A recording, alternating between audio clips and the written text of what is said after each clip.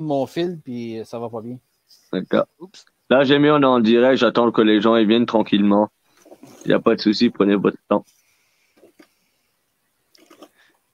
Mais je pense qu'il y a des gens qui n'avaient pas compris que la page était publique. C'est la dernière fois que j'avais fait avec Lolita, ils avaient du mal à venir. Mais j'ai dit oui, mais c'est parce que la page, elle est publique. Tout le monde peut venir. C'est pour ça que j'ai rajouté le lien euh, une heure avant pour dire le, la page est bien publique. Tout le monde peut l'utiliser. Faites-vous plaisir. Parce que je reprends les vidéos, je les remets sur YouTube et après je vous les ramène. Là, j'ai fait les trois vidéos, j'ai pas eu le temps ces derniers temps. Mais euh, ah ouais, en gros, bah là, celle-ci, euh, dès qu'on a fini, j'irai la mettre sur YouTube. Comme ça, tu vois, vous pourrez la partager aussi vite que vous le voulez. Quoi. Ok. Je vais essayer mon fil de tantôt, mais je suis pas sûr de ce que ça va donner. Il n'y a pas de souci, je vais essayer d'aller sur. Ah, il y a déjà quelqu'un. Mais euh, moi, je peux pas. Je sais pas comment on fait pour partager le lien sur. Euh... Bonjour à la personne qui est là. Ça se trouve que c'est Madame. Euh... C'est-tu toi qui fais la traduction euh, texte, euh, de texte directement sur la page? euh, Ah, c'est moi qui va directement appuyer sur. euh, C'est comme c'est moi qui ai lancé le salon. Il y a que moi qui peux appuyer sur les trucs pour que vous puissiez voir les questions et les machins. Euh, euh, c'est parce que sur le, le site du groupe, on voit le texte qui, qui passe devant nous. Oh, ok. Ah, il y a... Alors, ça, je remarque que je me suis rasé vite un peu ce matin, fait que c'est pas si grave que ça qu'ils me voient pas, là, mais. Ah, et- Je vais aller voir ça. Hop. Ah, ma femme, elle arrive à nous voir. Hop. Il faut que je sur mon mur pour dire à tout le monde de venir. Tu peux partager le lien, s'il te plaît?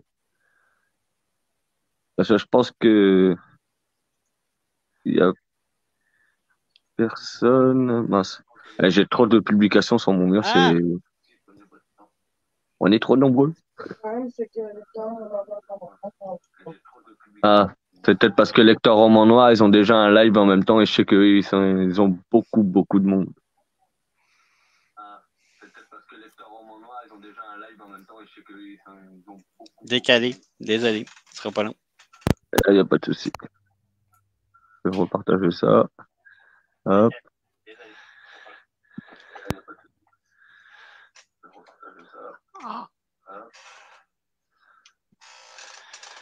Voilà, voilà, voilà.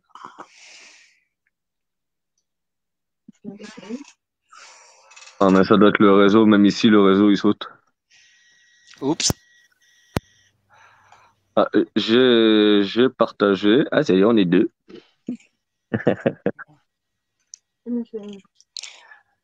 Même. Oh.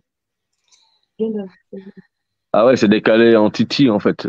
Je pense que c'est décalé entre nous et ce qu'il y a sur, directement sur le groupe. Oui, tout à fait. Il y a euh, plusieurs secondes.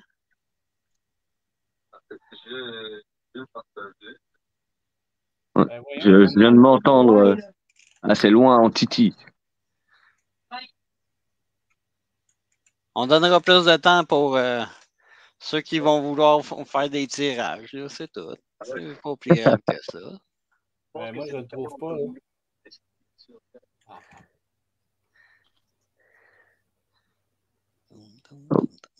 Je pensais pas que c'était aussi décalé que ça. Quand tu le sais pas, c'est pas bien, bien, bien grave. Il devrait mettre la fibre partout.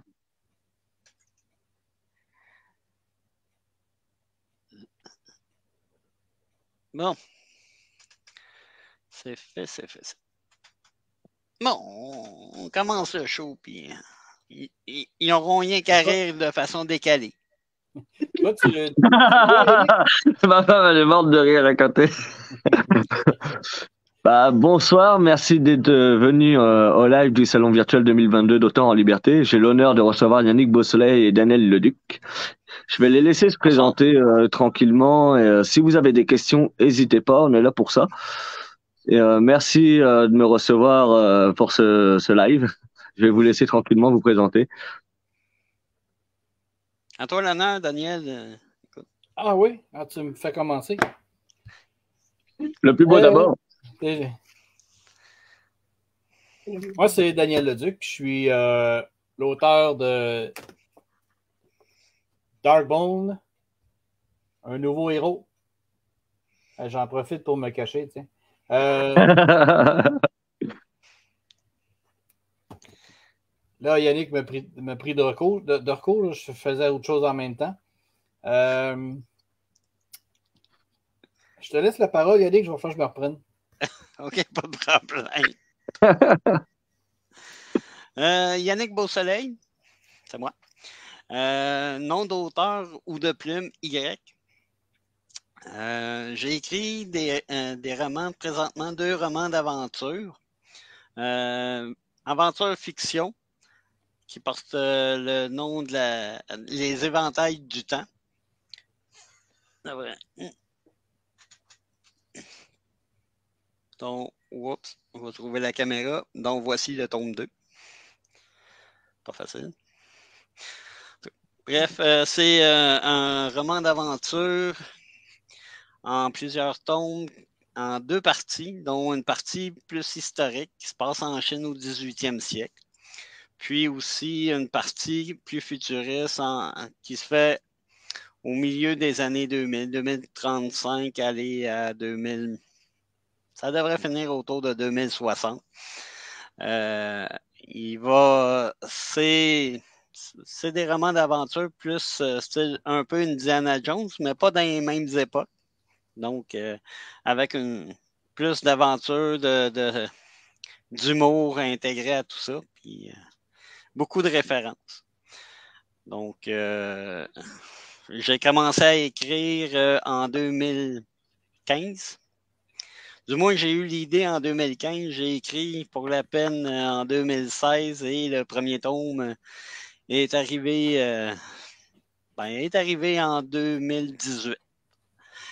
Euh, le second tome, j'ai profité de la pandémie pour créer ma, mon entreprise d'édition pour pouvoir rapatrier les, les droits parce que j'avais commencé avec une maison d'édition en France et euh, les communications avec le décalage et tout ça, ça devenait compliqué. J'ai décidé de tomber en auto-édition. Et donc, euh, j'ai ouvert une petite entreprise des éditions Beau Soleil pour pouvoir publier euh, la saga au complet et les quelques projets qui sont sur la glace pour l'instant. Donc, c'est pour ça, on, je viens de commencer. J'ai une formation comme programmeur analyste. J'ai fait du jeu vidéo. J'ai fait euh, bon, la restauration, mais ça n'a aucun rapport avec la, lignée littéraire que je suis. Mais bref, euh, donc tout ce qui est visuel, tout ce qui est euh, texte, c'est moi qui l'ai fait. Ça, résume pas mal en gros qui je suis et quoi que je fais du côté littéraire. Donc, Daniel, es-tu prête? Non, mais je vais y aller pareil. Vas-y. Alors, euh, je suis Daniel Leduc, auteur, évidemment. Je reprends. Je suis l'auteur de Darkbone, un nouveau héros. Vous m'entendez bien? Oui, elle est belle ta couverture. Merci. Moi aussi, il faut que je cherche la caméra. Euh, Elle est cachée. Voilà. C'est bon. Euh, un nouveau héros. Ben, apparemment, quelqu'un ne l'a pas aimé tant que ça, puisque ici, on a barbouillé le H de héros pour dire que c'était plutôt un zéro. Euh, c'est du fantastique. C'est une trilogie. Donc, euh, le 1, on a, on a ici le 2. On va essayer d'enlever un peu les reflets. Et encore là, sur le H, euh, cette fois-ci, euh, je pense qu'on a plutôt aimé sa façon d'être. Il y a un baiser. Et puis le 3.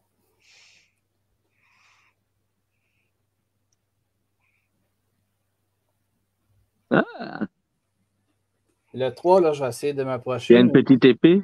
Je vois ce Il y qu'on a. a une épée et deux ailes de dragon. Ah, Les ah ailes, hot. comme si le H allait s'envoler, puis l'épée le retient. Bah, même le crâne dans le haut. euh, Ah, bien Ouais. pensé, vraiment bien pensé. C'est dans l'écriture de Darkbone, c'est le haut de Darkbone. De Bone. Il y a Nancy qui dit je veux le 2 et le 3.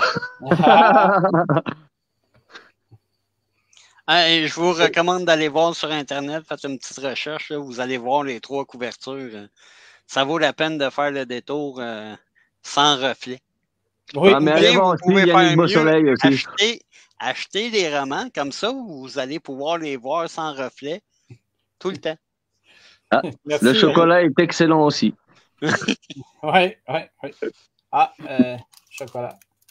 Euh, on le voit-tu? Non, on le voit plus.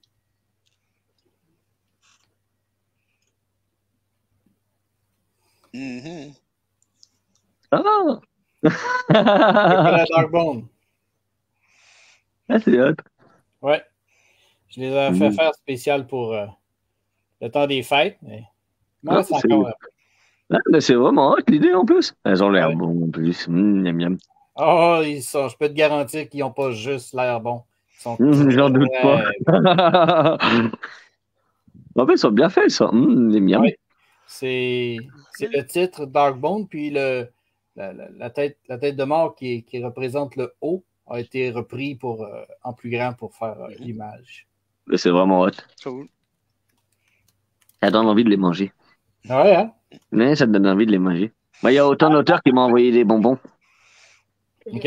Ah, ok. C'est ma femme qui les a mangés. On comprend comment tu passes ça. euh. OK. C'est ma femme qui les a mangés. Elle les connaît pas, il y en a pas, il y en a pas au Québec, donc je lui dis tiens, mange-les. En plus, euh, elle habitait pas loin de chez moi en fait. Quand j'ai euh, appris qu'elle était de Cambrai, tout ça, j'ai fait ah mais c'était à côté de chez moi. Est-ce qu'il y a comme un message là-dedans? Subtil, mais pas du tout. Non. Ma femme m'a dit que c'est bon les bonbons. Ah, est-ce que, ouais, c'est ça, il y, a, il y un message hein, dans ça, là, peut-être. Là, euh, Ouais. tu m'envoies ton adresse euh, en privé, puis euh, Pas des bonbons. recevoir un, un chocolat, mais En fait, on va se voir sur Valfid. ah ben, Ben oui, on va se voir. tu auras, ton chocolat à ce moment-là. C'est ma femme qui va vouloir me le piquer. Ah, Et je t'aime, mon bébé. c'est pour ça qu'elle m'a épousé, en fait. là, c'est pas à nous que tu dis ça, j'espère. Hein? Non, non, c'est à ma femme. Mais je vous apprécie beaucoup. Ça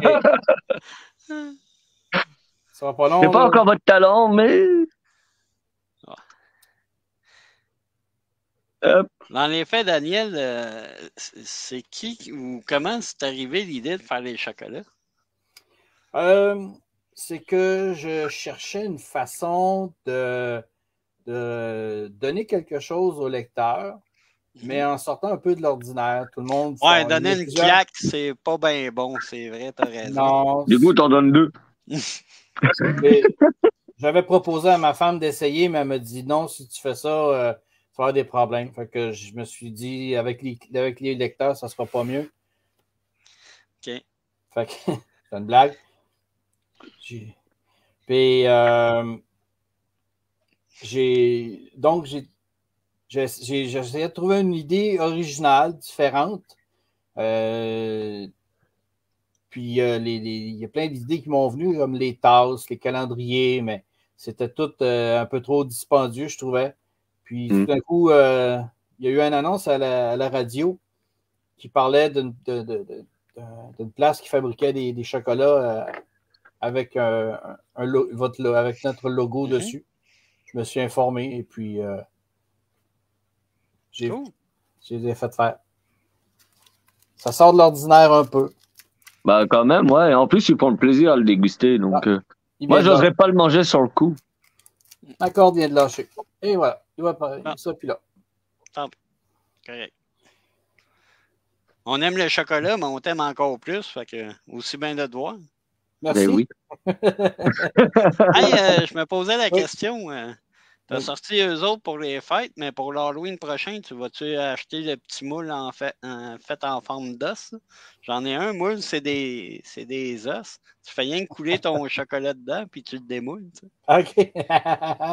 L'idée est bonne. Euh, J'avais pas pensé à ça. Non, j'avais pas prévu pour euh, l'Halloween. euh, mais je retiens l'idée. Je vais te la prendre. Elle est bonne l'idée en plus. Ouais. en plus, comme c'est des bons vas avoir chocolats. un salon. Excuse, vas-y. Non, non, c'est bon, je, juste, je voulais juste dire ça. OK. Euh, euh, J'imagine que tu vas avoir un salon dans ces coins-là, de toute façon. Aucune idée. Aucune idée pour l'instant. T'en as-tu Et- pas mal de prévus euh, à date? Ah, toi, t'as- t'as- t'avais tout préparé tes questions. T'es mieux que moi. Je Non, non, j'ai absolument rien préparé, mais Non, j'ai dit, spontané. tant que tu parles, j'ai pas à répondre, fait que ça va Ouais. bien. OK, c'est ça l'idée. Et tu pourrais comprends. répondre à tes propres questions. Ouais, ouais. Ben, je, vais, ben, je vais répondre à ta question. Oui, j'ai plusieurs salons de- déjà prévus actuellement. Euh, il y a euh, le 16 avril, euh, il y a le salon, euh, non, de- demain, plutôt, demain, le salon du livre à Québec. Oui, Je vais être vrai. présent pour euh, demain de midi à 14h. Ensuite, euh, il y a le salon clandestin à Québec, encore une fois, le 16 avril. Mhm. Ensuite, euh, il y a le salon du livre de Drummondville, le samedi 30 avril. Bien entendu, il y a celui de Valleyfield, le 28, euh, le 28 et 29 mai. Ensuite, euh, s'ajoute à ça le 24 juin, ici à Lanoret, le marché public, qui va se répéter ensuite euh, en- au mois d'août, mais là, la date m'échappe. Euh, le 16 juin, je, je suis à Mirabel, salon du livre de Mirabel. Toi aussi, tu vas être là? Oui, j'ai reçu euh, ma confirmation. il me reste juste à envoyer le chèque. Ah, moi, c'est déjà tout fait. Fait que, moi, j'ai choisi une journée que personne ne va avoir, le, 16 le, le- le- le jeudi. Parce que les autres journées, je travaille. Non. Fait que. euh, ensuite, euh, là, j'imagine j'en oublie. Là. J'en, ai plus- j'en en avais plusieurs. Je pense que c'est pas mal ça. Quand même, hein. bien fourni. Ah, ouais, ouais, ouais. Pas le temps de t'ennuyer. quand on fait des salons, on rencontre des gens, on rencontre euh, des, des bons auteurs comme Yannick. Et puis, euh, on se lie d'amitié, on, se- on se garde, on garde le contact, puis ensuite, ben, on se partage, on se partage les liens, les différents, euh, les différents salons que chacun euh, se fait inviter. On invite euh, nos connaissances, nos amis. Fait que j'en reçois- j'en ai reçu plusieurs. Good. J'en suis fier. Ah ben, il y a de quoi. Et toi? Et toi, à ton tour, Yannick, tu vas être présent où? Euh, moi, euh, je serai pas à Québec euh, demain. Ben, je vais être à Québec, mais pas à un salon. Je vais être à l'hôpital pour des Ah. examens, mais ça, c'est Mhm. pas tout à fait la même affaire. Peux, Sinon, don- euh, tu peux donner rendez-vous aux gens là, mais c'est moins, euh, moins glamour. Ça se trouve, ça sera pas loin de chez moi. Moi, j'ai tous les hôpitaux qui sont dans mon coin. c'est moins actif, du moins. Euh, Ça dépend si t'es pas loin du Vieux-Québec. Faire, des, faire des, des, des- des- des dédicaces en robe de, en robe de chambre d'hôpital, c'est pas tout à fait. euh, Avec l'effet salaire apparente. Ouais, euh, Tant qu'il pas ne me demande pas de photos. signer dessus, tout va bien. Ouais. Mais dans les faits, euh, c'est ça. Euh, pour le 16, euh, je devais. euh, on m'en avait parlé, c'était intéressant. Sauf que c'est la fin de semaine de mon anniversaire, donc ma femme m'a dit c'est pas vrai que tu vas t'en aller, moi je t'attache. Donc, euh, euh, finalement, on va se retrouver euh, le 30 ensemble. OK.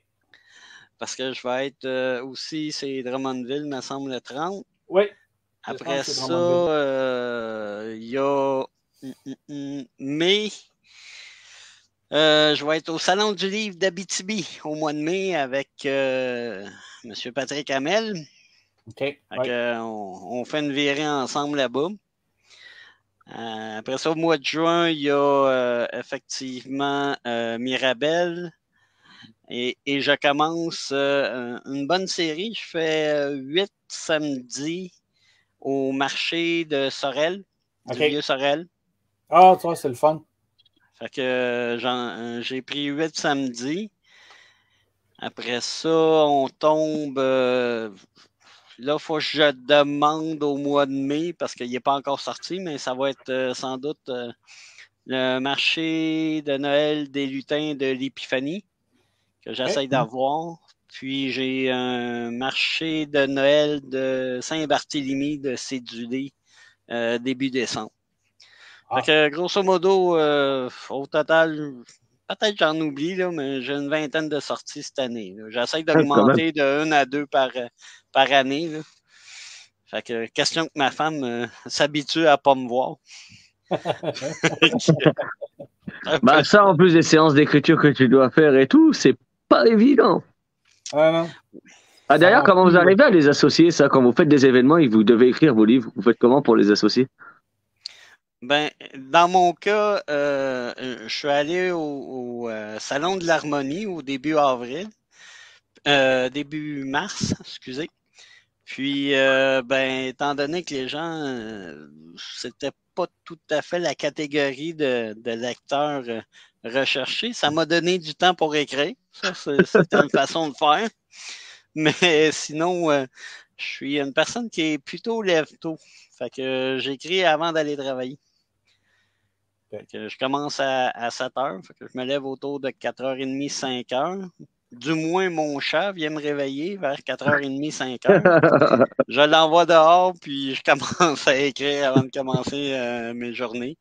Puis après ça, euh, ça dépend des, des, des bouffées d'in- d'inspiration.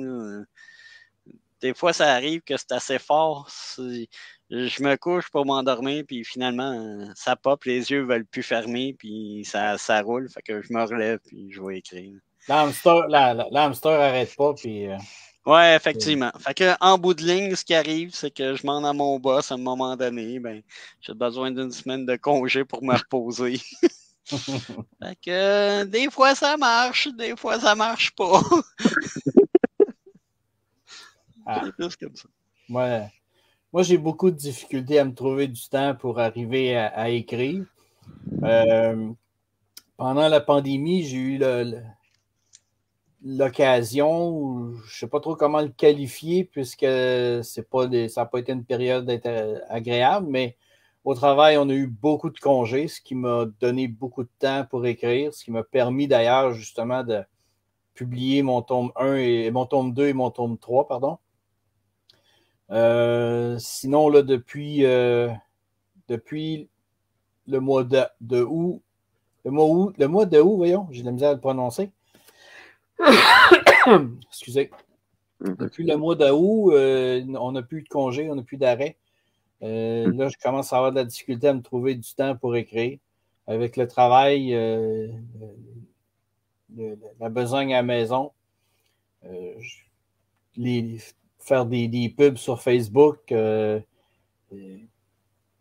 un moment donné. Juste je- les lire, c'est quelque chose. Fait que, Mm. en Ouais, plus, ouais. non, définitivement. Tu peux écrire qu'on, quand tu réussis à avoir un peu de temps, tu écris combien de pages normalement? Par, par tranche de temps? Ben, Ça donc, ça va- a posé la question en plus. ça Ça vous prend désolé. combien de temps d'écrire un livre et de le publier? ça- Ah, ça c'est, varie c'est, beaucoup. c'est différent. Ça varie beaucoup d'une fois à l'autre. Euh, Des fois, je peux écrire euh, deux, trois pages euh, et même un peu plus. D'autres fois, ben, c'est seulement des, des notes euh, des notes sur papier. Ah, toi aussi, tu notes comme ça? Ah, j'ai pas le choix. Euh, au travail surtout. Mais c'est vraiment, j'ai pas, pas une discipline parfaite de dire là, je m'installe et euh, je fais euh, je fais plusieurs pages, j'écris plusieurs mots. euh, non, pas vraiment. Le tome 1 m'a pris plusieurs années à écrire, le, le, le 2 et 3 en, en- à, à peu près un an chaque. Puis là, ben, j'essaie d'écrire autre chose et puis j'arrive pas à, à bien démarrer. Là. Je fais par, par petits bouts seulement. Là, puis, euh, Ouais, ça reviendra quand ça reviendra. Euh, Des fois, il faut juste laisser le temps à la mayonnaise de monter. Et une fois que c'est monté, paf. aux vacances cet été, par contre, je me promets de prendre du temps pour euh, avancer mon, mon, prochain projet. Ça prend du temps aussi pour toi, ça fait du bien. ah oui. Pour répondre. Oh, excuse. Oui, vas-y. je m'en allais dire pour répondre un, peu plus précisément à, la question. Combien de temps écrire un livre et le publier? Dans le fond, ça dépend comment tu es prête avant de commencer à écrire, jusqu'à quel point tu connais ton sujet, puis vers quoi tu t'en vas. Euh, le publier dans les faits, ça dépend aussi si tu es en maison d'édition, si tu es en auto-édition. Ça peut varier, ça aussi, euh, beaucoup. Le temps de correction, l'épaisseur du livre aussi rentre en ligne de compte. Euh, je dirais, dans mon cas à moi, le premier tome, euh, c'est euh, à peu près 360 pages.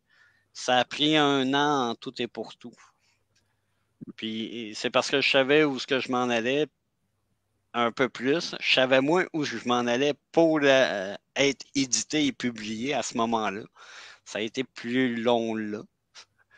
Mais parce que normalement, l'édition peut prendre à peu près 3-4 mois. Hein. Si on parle de la correction, la mise en marché, l'impression et tout ça, ça peut prendre à peu près ça dans des maisons d'édition comme telles. Euh, la correction, c'est une passe qui est quand même plutôt longue aussi à faire. Je dirais, euh, dans bien des cas, c'est presque aussi long que, que de l'écriture quand, quand tu connais bien ton sujet. Après ça, il y a, si tu connais moins bien puis tu fais beaucoup plus de recherches, ben là, ça peut être plus long. Il y en a, euh, je connais des auteurs qui ont, qui ont écrit des très, très bons livres. Euh, il y en a qui en écrit deux par année, mais il y en a que ça a pris euh, cinq ans à écrire. Hmm. Parce qu'il il recherchait, j'en connais une entre autres, elle recherchait vraiment le style de langage d'époque pour pouvoir faire son livre. Hum, que toutes ces recherches-là prennent plus de temps. Fait que ça varie beaucoup. La seule chose, c'est qu'il ne faut pas, faut pas se sentir pressé de le faire pour pouvoir bien le faire. Moi, si je me sens pressé, bousculé, euh, je perds mes moyens. La pression me, hum. me bloque complètement l'inspiration. Et euh, mais j'abonde dans le sens de Yannick. Moi aussi, quand, euh, quand j'ai l'idée vraiment en tête de ce que je veux écrire, ça va vite. ça, ça sort bien, ça sort tout seul. Mais après ça, la correction, là, dans mon cas, c'est plus long. C'est plus long, là, ouais.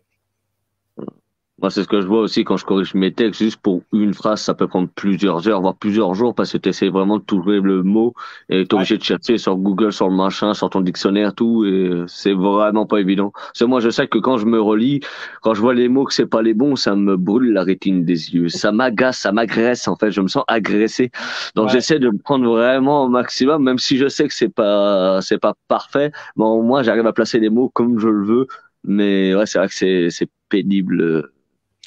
euh, ben, je dois, euh, je dois admettre qu'il y a aussi un autre facteur qui peut rentrer en ligne de compte. Si c'est une commande ou pas. Ouais. Mmh. ouais. Parce que des fois, c'est des commandes où ce que, euh, comment je pourrais dire, je fais, je prends juste un exemple que je connais bien. j'ai lu beaucoup des, des, romans de Star Wars Fleuve Noir, de la série Fleuve Noir. Et aïe, aïe, des fois, ils, ont coupé un peu vite, mais c'est parce que la série, il fallait qu'elle sorte là. Ah, donc, c'est.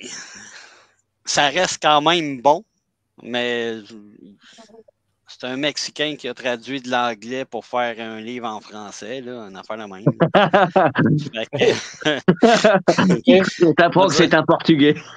Ouais, mettons. Fait que c'est pour dire que des fois, les traductions, ça fait mal. Puis, oui, euh, on peut laisser certaines fautes, là, mais quand il en, il en laisse plus que ce que, ce que moi j'en fais, c'est déjà un peu traumatisant. Ouais, mais, Mais des fois, c'est c'est normal qu'il y ait des fautes. Des fois, c'est des fautes d'impression. Tu as des mots qui sont collés ou les mots ils changent parce que le caractère il a changé. Donc, des fois, Ouais. c'est même pas la faute de celui qui va corriger ou de vous, c'est juste parce que l'impression c'est mal faite. J'en ai déjà vu des livres comme ça, même Stephen King. J'en ai vu des erreurs dans son truc, mais c'est pas Stephen King qui a été faire les erreurs. Ça se trouve que c'est le correcteur ou ça se trouve que c'est machin. Donc, honnêtement, moi, je m'en fous du moment que c'est minime. Honnêtement, je m'en moque. Moi, ça, ça prouve qu'il y a un côté humain. Non, oui, non, clairement. Puis, tu sais, il y a, y a des, des fautes qui.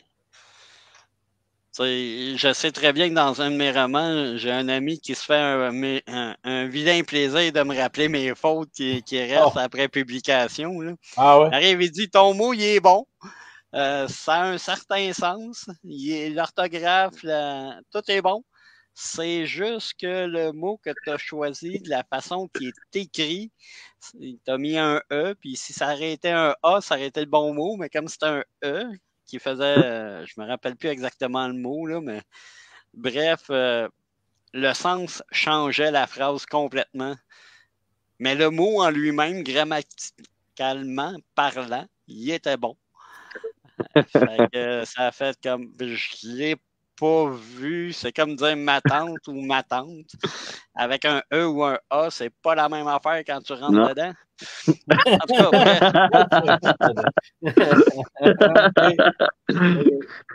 Non, j'avoue, mais j'aime bien ta tournure de phrase. Il y a Jennifer qui dit Où puissiez-vous vos aspirations? Ah, tabarouette. Dans mon cas, c'est vraiment là n'importe où. N'importe où, n'importe quoi. Euh, une image dans une publicité à la télé, un mot à la radio, puis d'un coup, là, mon cerveau là, prend l'image ou le mot et le transforme, euh, l'emmène complètement ailleurs. Et ça n'a aucun, aucun rapport avec ce qui a passé comme publicité. Là. C'est. Non. Ma femme me traite de fou quand je lui fais ça. Ah. Que je pars vraiment loin dans mes idées. Bienvenue dans la, dans la folie des auteurs. Ah, merci, je suis ravi. Ah non, c'est vrai, même une plaque d'immatriculation, je la regarde, des fois c'est marqué juste euh, genre TTK. Je la regarde, je lui sors une phrase et ça part dans des histoires de fou. Fait, Ah, mais tu peux te calmer, on est dehors quand même. Ouais, Il y a ouais. des gens qui nous regardent. Ou des fois, elles rentrent dans le jeu. Ouais, ouais. C'est ça. En tout cas, pour moi, c'est ça. C'est vraiment là. euh, Là, plusieurs- prenez-les pas mal, là, mais euh, moi, un des, des, des endroits qui m'inspire le plus, c'est la douche. Ah, Quand, euh, je sais pas, on dirait que j'ai du temps pour réfléchir, ça, ça m'aide. Mais euh, autre chose, j'essaie juste de voir mon doigt, il est où? Il y a Il est ça là. ici. au bout de ta main.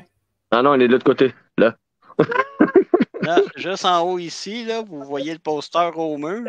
Ça Ouais, se trouve à être euh, mon personnage principal qu'il y a dans mon roman. Fait que j'ai des posters euh, tout, le tour de, à- tout le tour de moi où ce que j'écris avec mes personnages. Ah, je pensais que tu allais dire dans la douche. C'est pas loin, c'est pas loin. Tout, tout, tout, tout, tout. Yeah. Euh, bref, euh, Tu me frottes les dos. mais dans les faits, euh, j'embonde aussi dans le sens de Daniel parce que j'ai commencé une saga de 12 tomes à partir d'une publicité que j'ai reçue par la poste. Donc, euh, c'est c'est pour dire que ça peut venir de, de n'importe où.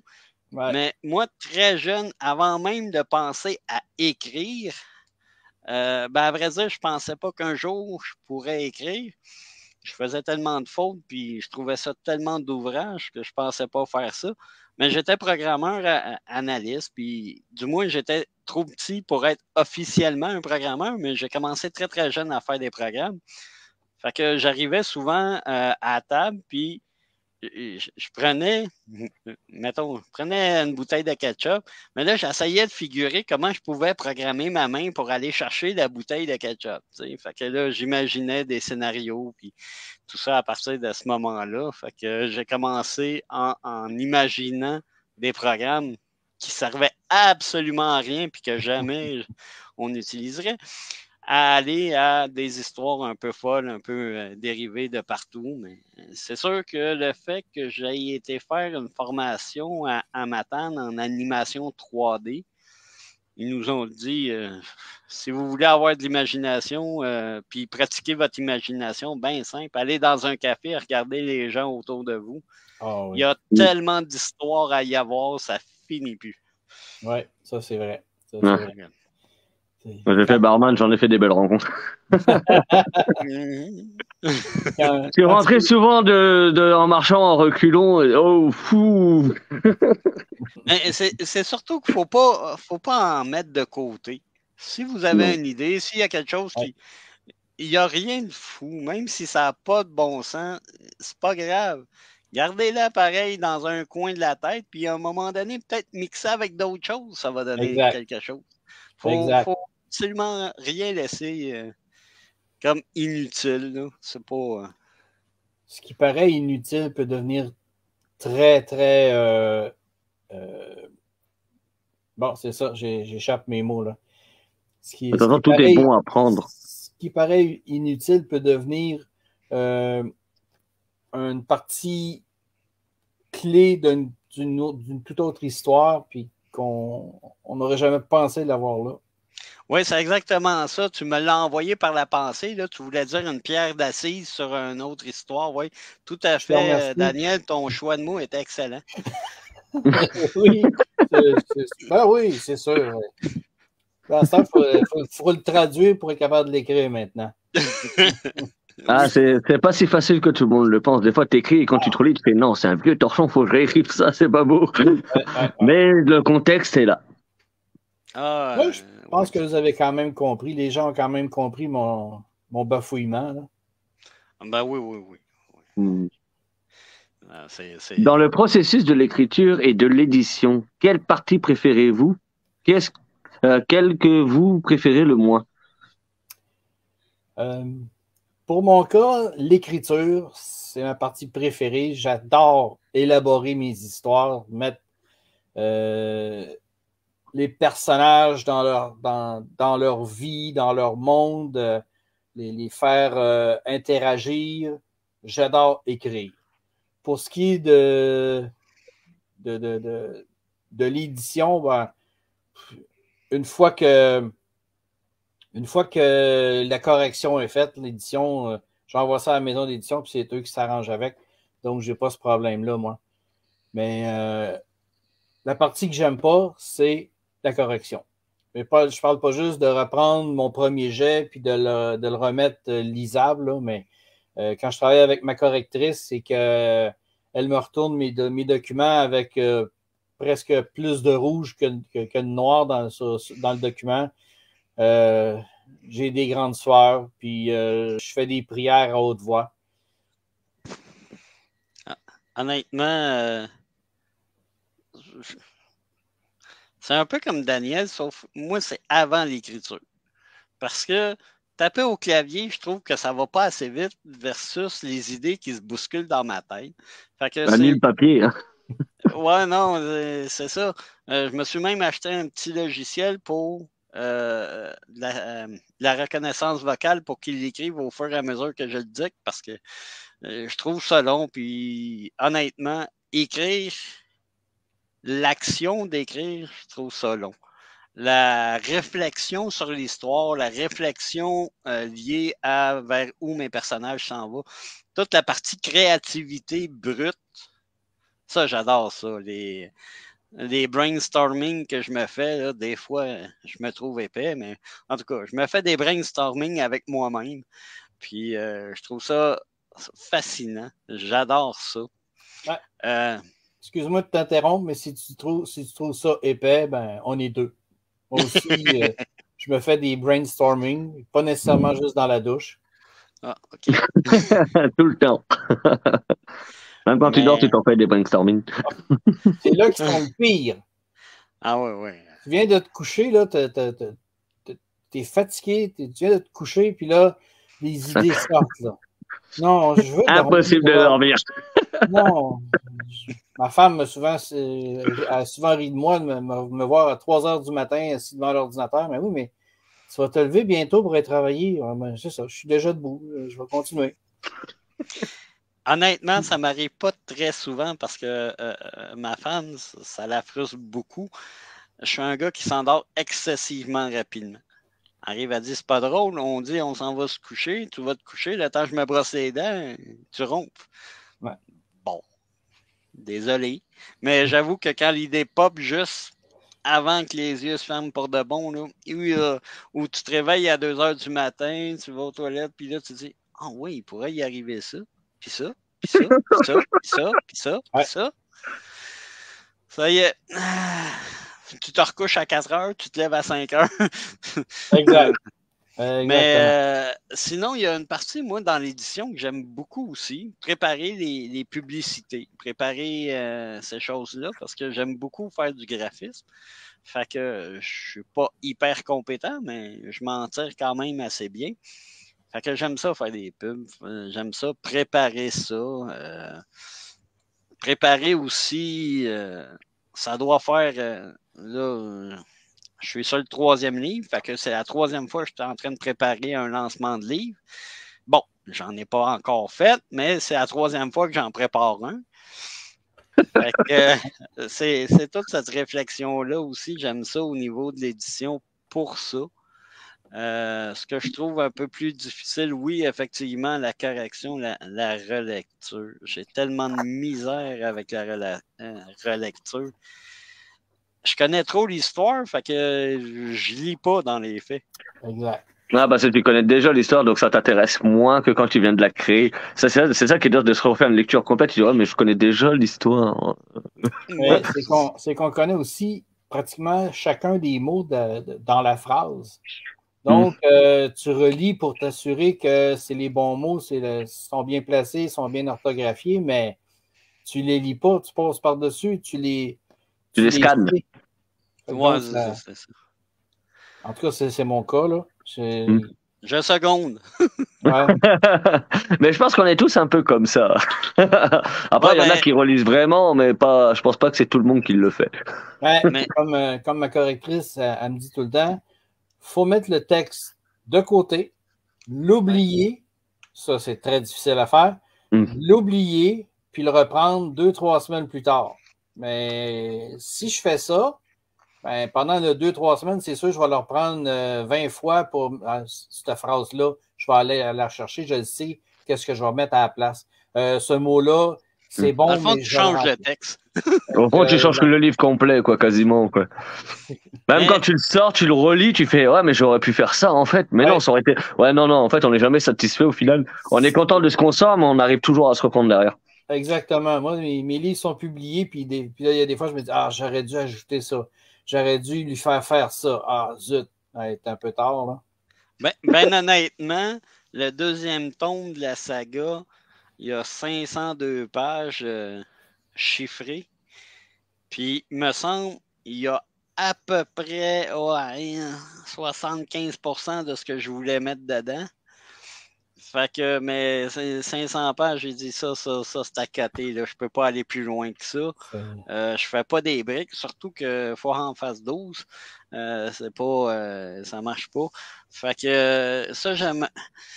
La relecture, j'ai plus de difficultés, mais je dois avouer que j'ai une chance incroyable. Ma correctrice, on s'est mis d'accord. Je lui envoie un chapitre à la fois. Hmm. Puis un coup que c'est terminé, on refait une passe au complet sur l'ensemble du, du, roman.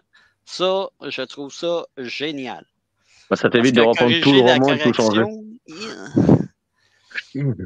Quand tu as tout le livre à faire, des fois, ça fait long.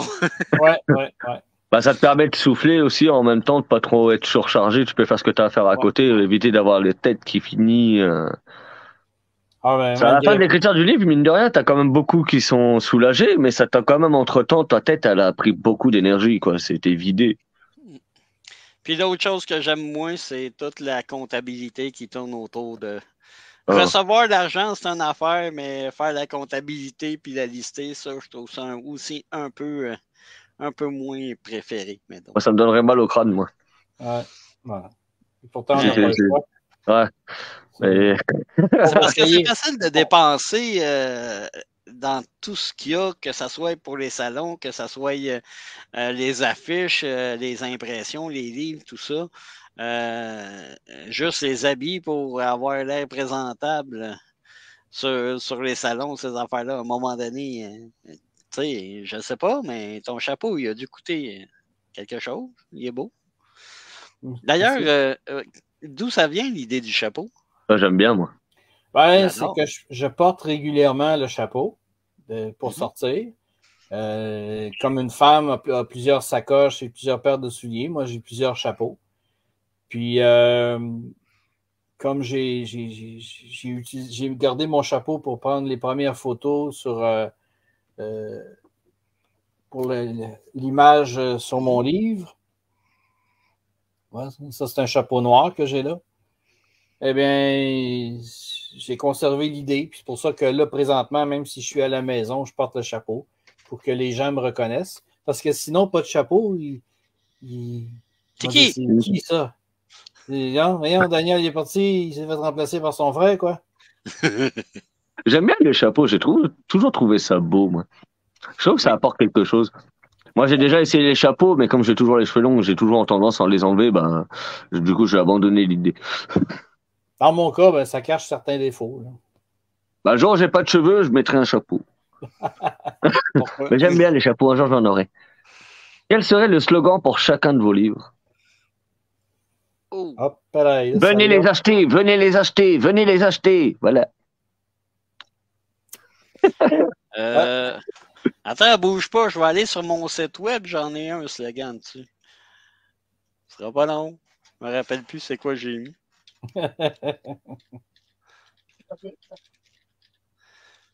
Euh, ta, ta, ta. Toi, Il y a, Daniel, ça il y serait a quoi? Stéphane qui est là. Je viens de voir une de ses questions. J'ai vu qu'il y avait Stéphane. C'est lui, salon virtuel, c'est Stéphane. Yay! J'essaie de, de trouver quelque Allez, chose. là, J'avoue, là. me fait prendre de, de recours, celle-là. Euh, mais Merci, Nancy. ça, ça dépend un peu c'est quoi qu'elle entend par slogan.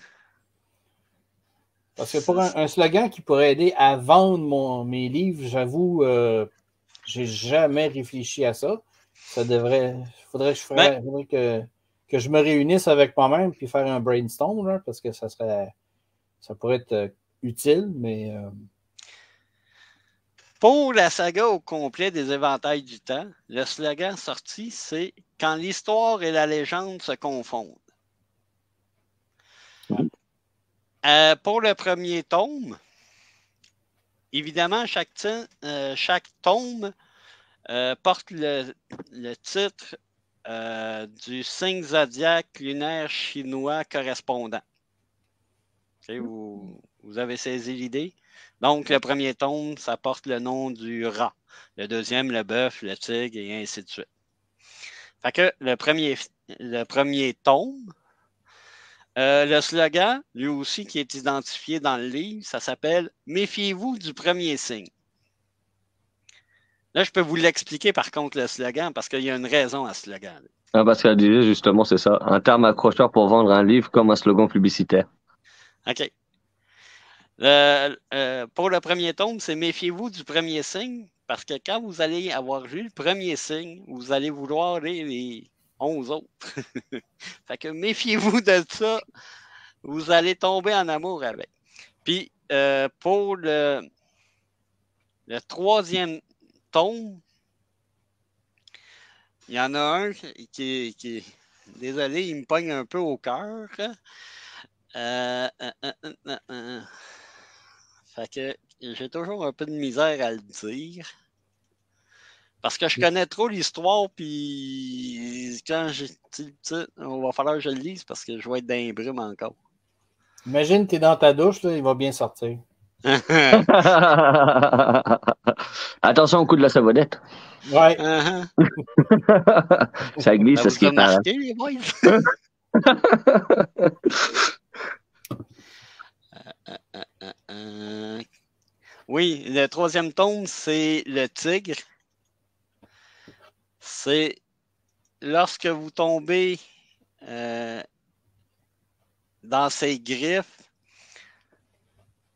le seul moyen de s'en sortir, c'est de s'arracher le cœur. C'est. Ah, encore. Je vous conseille de pas vous arracher le cœur pour vrai. Attendez de lire le livre avant. Ouais. Arrachez-le-vous Oui, oui, oui, après, oui, s'il vous oui. plaît, parce que voilà. De façon virtuelle sera suffisant. Oui, oui, oui, non, non. C'est une métaphore, c'est une image. Hein. Euh, pas de fouet. Oui, Laissons le doute, laissons le doute.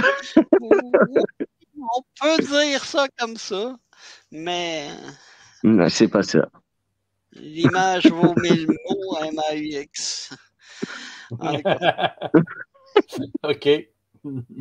Bref, euh, c'est un peu ça.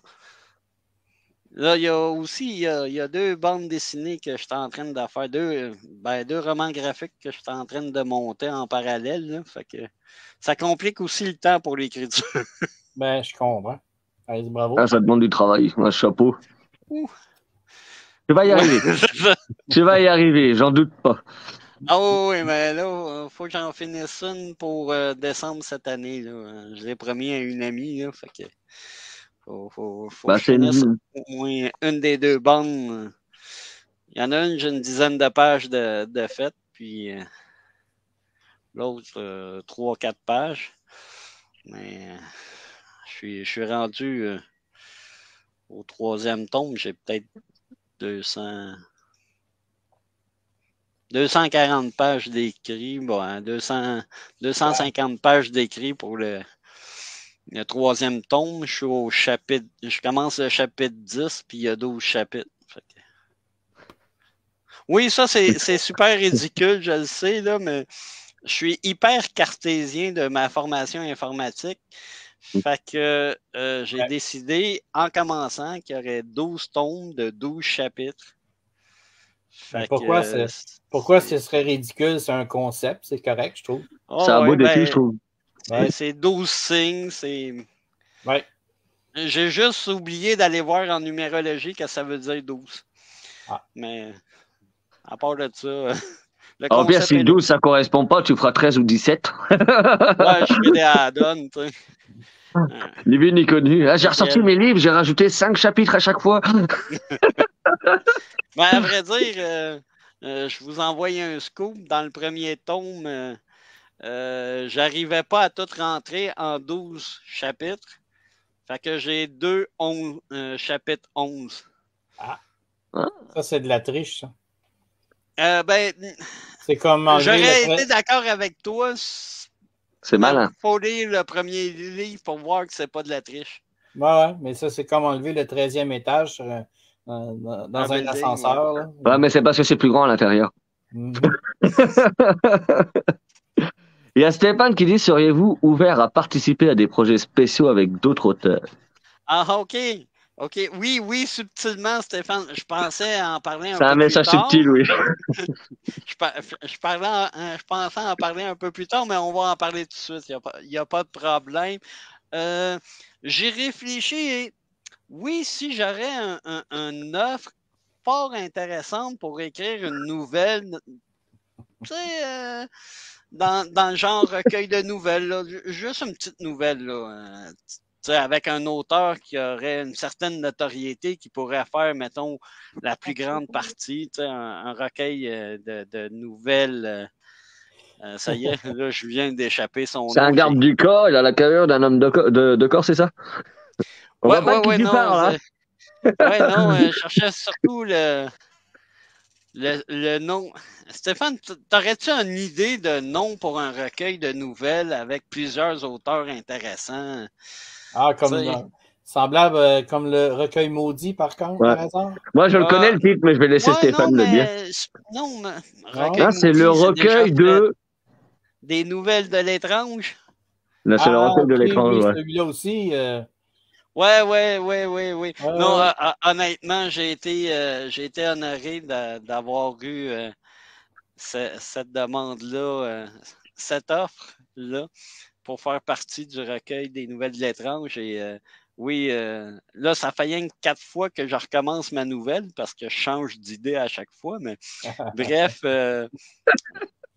effectivement, oui, je serais ouvert à écrire avec d'autres personnes dans la mesure où ce que ça soit fait de façon euh, coopérative ou euh,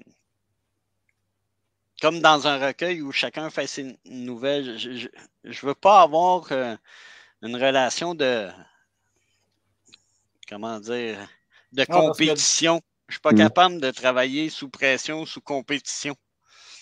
OK, parce que tu pas te retrouver avec un autre dans la douche pour. Euh, non, non, non. Euh, écoute, euh, j'aime bien mon nom, j'aime bien. Ah, moi, je suis fait direct. Je n'ai pas besoin d'en voir plus. ah, mais des fois, on dit que dans la vie, il y a souvent des, des petits miracles qui arrivent. On sait ouais, pas petit, petit, parle pour toi. Eh, je parle pas pour moi. Je vais pas me vanter. Non, mais euh, toi, Daniel, à euh, quatre mains? Pas vraiment, non. Euh, un peu comme toi, là, participer à un recueil de nouvelles, je dirais peut-être pas non, mais ça, ça, dépendrait un peu du style, du genre. Mais par contre, travailler avec quelqu'un d'autre sur un roman, sur une histoire précise, là, non, ça, j'aurais peur de perdre l'inspiration, j'aurais peur de, me mettre une pression qui justement me bloquerait de partout. Mais par contre, euh, une nouvelle, ça, je serais peut-être plus ouvert par contre. J'ai euh, des amis qui ont fait quelque chose que je trouve intéressant aussi. C'est un roman avec des personnages principaux. Puis chaque auteur écrit le roman selon la vision d'un des personnages. C'est la même histoire générale. Ils, ont fait un gros brainstorming au début.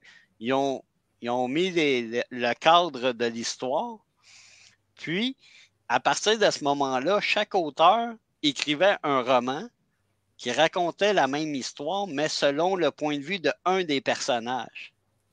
Puis comment il percevait les autres personnages selon ce personnage-là. Fait que c'est comme si tu relis la même histoire, mais pas du tout la même façon, parce que les, les actions entre les actions sont différentes. Puis, euh, c'est sûr, faut quand même que tu gardes communication avec les autres pour pas contrecarrer euh, les actions, mais ça reste que c'est des livres avec des visions de personnages très différents. Euh, je trouve ça intéressant comme, comme concept.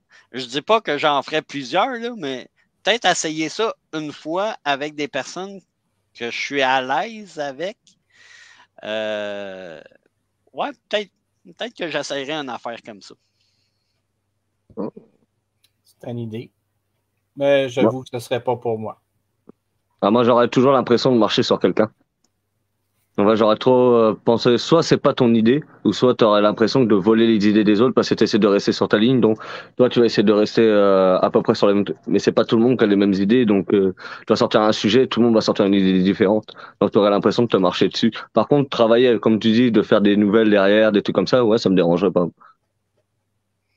Mais sinon, ouais, j'aurais vraiment l'impression de marcher sur quelqu'un, de lui manquer de respect ou d'être dans sa bulle.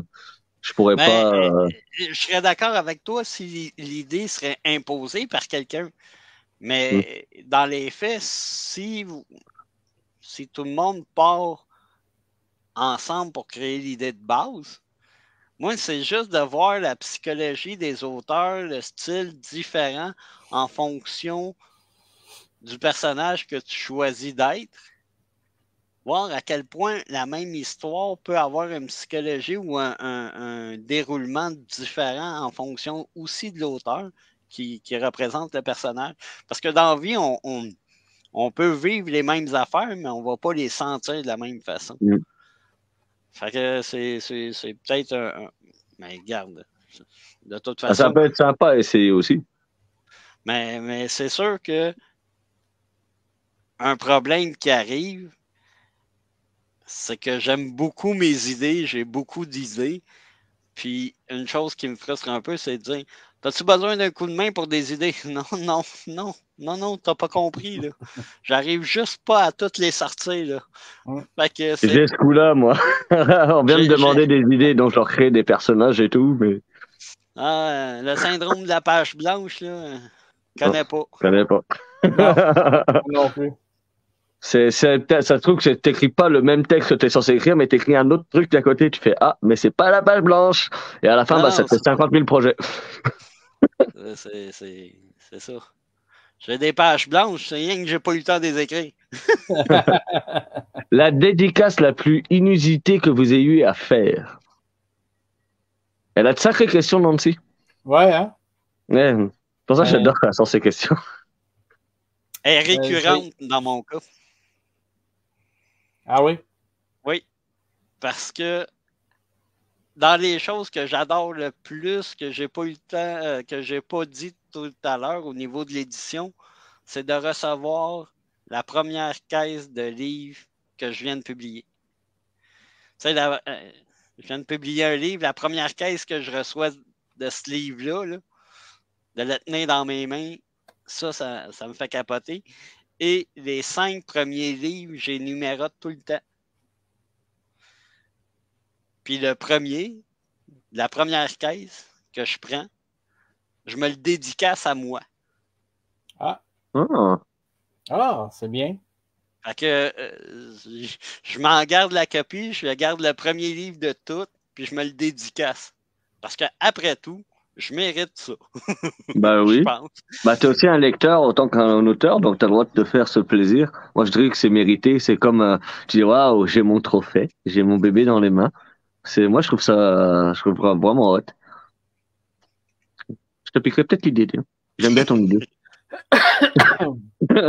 Sinon j'enverrai ma dédicace à moi-même à tout le monde. Excusez-moi, j'aime bien me féliciter. Tu, vois, tu vois, Yannick, tu me fais réaliser que j'ai pas su profiter de ce moment-là euh, depuis mon tout premier, euh, mon, tout mon, mon, tout premier tome qui est paru. Je ne me suis pas donné le plaisir de l'apprécier à sa juste valeur. Ah, quand j'ai reçu mes, mes, mes boîtes, je suis allé les chercher moi-même à l'entrepôt de, la maison d'édition.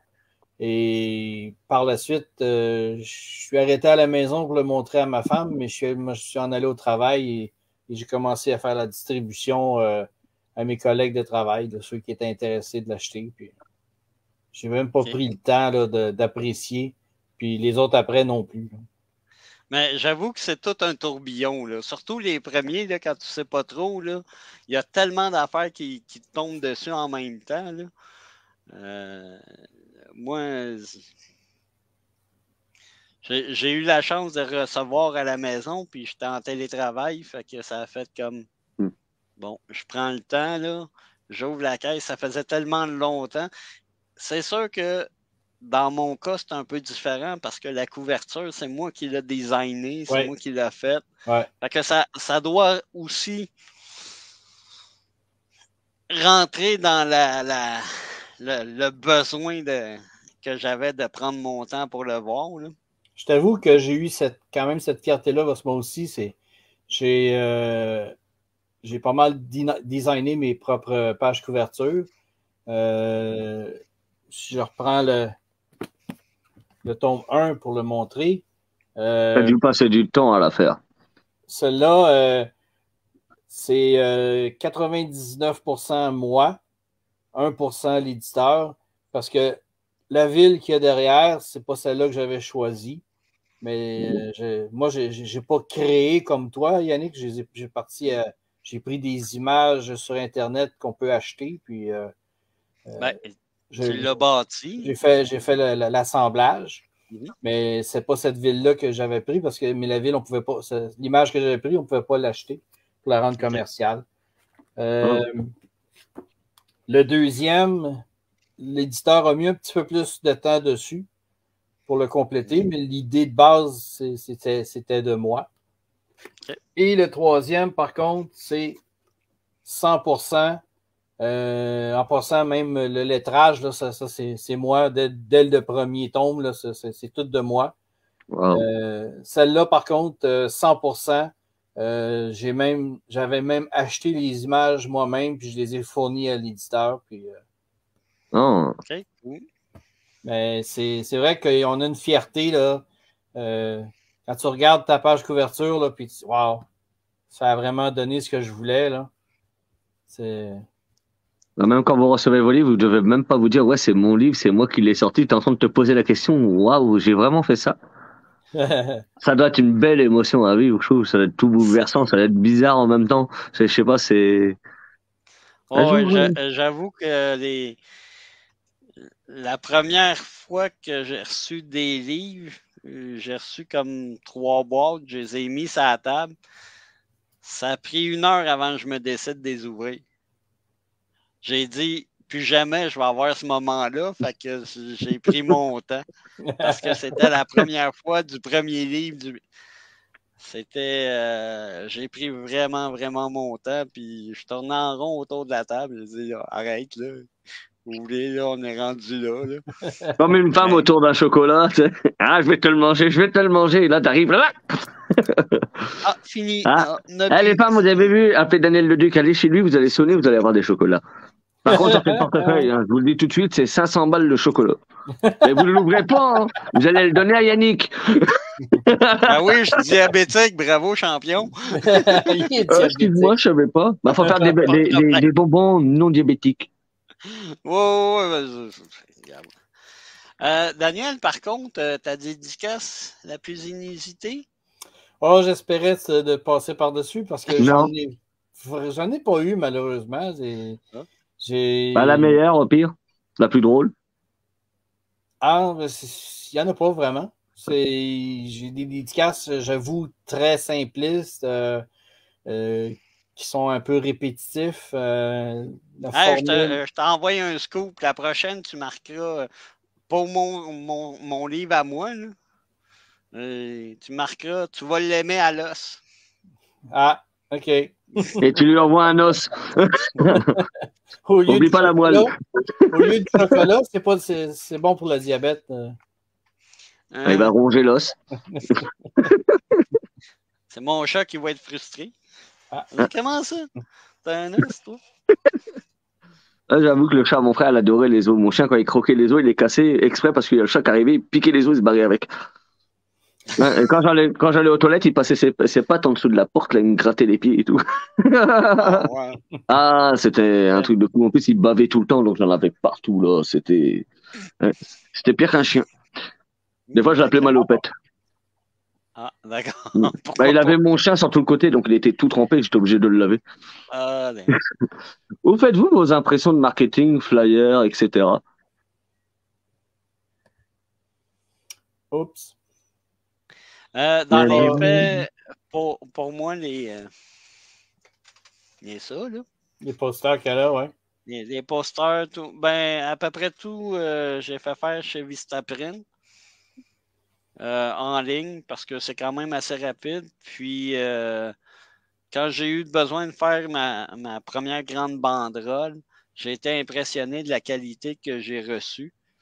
Fait que j'ai eu à date un bris, puis ils m'ont retourné euh, une banderole. Euh, écoute, ça n'a pas pris une semaine que, je l'avais reçu. Tout ce que j'avais à faire, c'est de leur envoyer deux photos pour montrer qu'il était brisé sur le transport. Puis euh, ça a super bien été. sauf qu'il faut vraiment, vraiment attendre les spéciaux.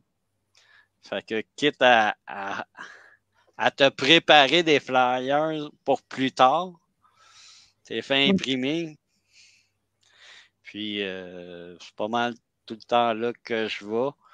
Euh, puis je fais imprimer mes livres. Euh, moi, à Montréal, chez Rapido. Amazon, un, j'ai regardé une fois vite, vitement, puis je me suis perdu dans le processus. Puis après ça, étant donné que Amazon se prend quand même une bonne cote et tout, en tant qu'auteur, au prix que je vends mes livres, l'imprimeur que j'ai, euh, il me fait les livres en une semaine, je reçois à la maison, tout est livré. Fait que comme j'en expédie pas beaucoup, euh, j'ai vendu pratiquement tout euh, au salon dans, des événements. J'ai rien qu'à les apporter. C'est, c'est pas comme euh, il y a Patrick Hamel qui marquait que ça y coûtait 20$ de shipping par livre. Ça Mm. augmente le prix du livre assez rapidement. Là.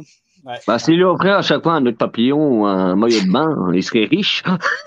Excuse-moi, mais à chaque fois qu'on parle de Patrick Hamel, je l'imagine en maillot de bain avec son petit nœud de papillon. Ah, ah. Il est Arrête, tellement je m'en fort, vais en. Abitibi avec. Là. Oh, Ça fait peur. Tu t'auras pas de misère à l'imaginer, hein? Tout, le- tout le monde va arriver en maillot de bain avec sa- son petit nœud de papillon. On va dire, ah oui, mais c'est qui Patrick Hamel? C'est le seul qui aura deux nœuds de papillon. Ah, ah, remarque, euh, il, est- il est quand même. euh, il a quand même le corps pour porter un nœud papillon. Là, tu sais, je veux dire, moi, Mm.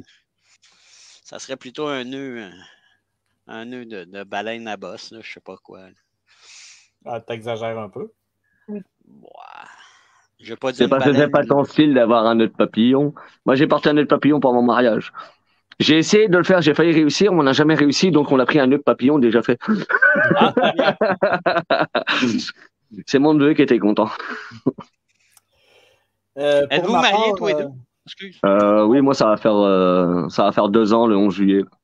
Ah. J'ai eu cette Ah. chance. ah, Bah, j'ai rejoint ma femme un an après, on s'est mariés ensemble et euh, ça va faire deux ans euh, le 11 juillet. On s'est mariés au château de Frontenac. Pendant qu'il y a eu la, la première pause euh, de la Covid, on pouvait être réunis une vingtaine de personnes.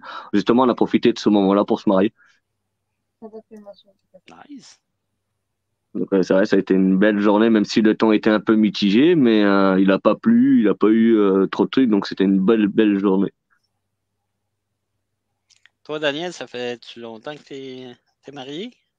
Euh, ça fait une trentaine d'années que je suis avec ma femme, mais euh, marié, là, je me, suis, je me perds dans le calcul. Là. On- Ok. Mais ça fait, ça fait près de 14-15 ans peut-être qu'on s'est- qu'on est marié. Ah, quand même. Ah ouais, elle a beaucoup de patience. La mienne aussi, elle a beaucoup de patience. c'est pour ça que je l'aime. Il y a Nancy Ouais. qui dit Darkbone, un personnage dark ou pas dark? Pas vraiment. avant que, avant que Yannick voulait répondre aussi. Ah, euh, dans, dans mon cas, euh, j'ai la chance euh, d'avoir euh, épousé ma douce. euh, ça va faire. hi, hi, ça va faire 10 ans euh, en septembre cette année. Oh, Fait que. attends. Non, c'est pas vrai. C'est pas vrai. Hey, elle va, elle va m'arracher les yeux. Non, dans les faits, euh, ça va faire 10 ans qu'on s'est rencontrés euh, vendredi. oh, Oh, Oui, c'est ça. On s'est plus. marié en, en- on s'est marié le 16 2017 parce que le 17, on pouvait pas se marier, c'était un dimanche. C'est ça. Fait que c'est- c'est parce- euh, la raison pourquoi que je dis ça, c'est que euh, je ne sais même plus. Ça va Ah. pas bien. On s'est, euh, on s'est, on a été ensemble euh, le 12 mai 2012. J'ai demandé sa main le 15 août 2015. Puis on s'est marié finalement le 16 euh, septembre 2017 ou le 17 septembre 2016. En tout cas, à une journée d'intervalle près. ok. Parce qu'on n'a pas pu avoir notre journée parce que la journée, c'était. Il a fallu qu'on se marie le samedi parce que le dimanche, il ne faisait pas de mariage. Euh, Fait que euh, c'est ça. C'est beau. Ok. Ouais, on s'est marié le 16 2017 parce que j'ai dit au moins le 17 2017, on va être mariés, ça va être notre première journée. C'est ça. Mignon. Fait que ça va faire 5 ans, mais 10 ans qu'on se connaît. Ok. Ça passe vite le temps. Ah. On est chanceux, on est chanceux. Oui, oui, euh, honnêtement, très, très chanceux. Très chanceux qu'elle qu'elle- qu'elle veuille encore rester avec moi. Euh, remarque qu'on ne se voit pas, fait qu'on ne chicane pas si souvent que ça. Fait que, euh, elle est plus de soir, moi je suis plus de matin. Fait- Au Ça niveau des horaires de travail. bon, euh, oui, on revient à toi, Nancy. euh, je laisse répondre. OK. Donc, euh, Dark Bone, non, c'est pas très dark. Euh, j'ai créé le personnage euh, pour lui donner une allure un peu sombre, mais il ne l'est pas tant que ça. C'est un, un ado qui s'est trouvé un, costume pour passer euh, incognito. mais il donne, il donne pas l'image de ce qu'il est vraiment. Ah, L'habit ne fait pas le moine. Exact. Moi, je dis c'est le soleil qui le cachait, ça le faisait de l'ombre. Pour garder le côté mystérieux. L'endroit le plus inusité que vous ayez eu à décrire vos idées. À écrire vos Euh, idées. Attends, attends une minute. Je vais essayer de lire. L'endroit le plus inusité où vous avez dû écrire vos idées. Euh. Malheureusement, il- J'en ai pas tellement, non. Moi non plus. Euh, j'écris au travail, j'écris euh, pendant sur ma tablette pendant mes pauses. Sur, sur le, le travail même, euh, c'est mes, mes petits bouts de papier. Là. Euh, sinon, c'est à la maison. j'ai écrit dans un autobus. Ah. La situation, c'est que à l'époque, je faisais la navette euh, euh, Matane-Joliette. Donc, on parle de 6h30 en, en char. Donc, on parle de 12 heures en autobus. Et euh, c'était un hiver. On s'est retrouvé euh, pris dans une station-service. Et le chauffeur nous a très bien dit, présentement, ils ont fermé l'autoroute, mais dès qu'elle est ouverte, on repart. Fait que si vous sortez de l'autobus, mais qu'on on, on a l'autorisation de repartir, on part, on vous attend pas. C'est bien. Donc, donc, euh, je suis allé euh, à la station-service, euh, me chercher un petit snack. Je suis revenu dans l'autobus. Puis, mais par chance, c'était un autobus, euh, ce qu'on appelle les autobus voyageurs. là. Donc, il y avait des prises de courant après, après le siège. Fait que j'étais tout croche avec le portatif pour essayer d'écrire. Parce qu'on était au milieu de la nuit. Fait que l'autre d'en avant avait couché, couché le siège. Donc, pas, pas de tablette, pas rien. Que, euh, hum, moi, j'avais l'air d'un escargot dans, en- enroulé sur, euh, sur la chaise avec euh, le portatif un peu tout croche. Puis j'ai écrit comme ça un, un- un bout de temps, puis c'est ça. Finalement, ça avait pris 16 heures de descendre. Oh, On avait on est resté à sorti, peu c'était un zombie. Eh, eh, eh. Ouais, c'est- Ah, ça devait faire mal de partout. Oui, ça c'est clair. Mais tu te dis, euh, à, à 180 pièces le billet, finalement, il, il revient pas cher de l'heure.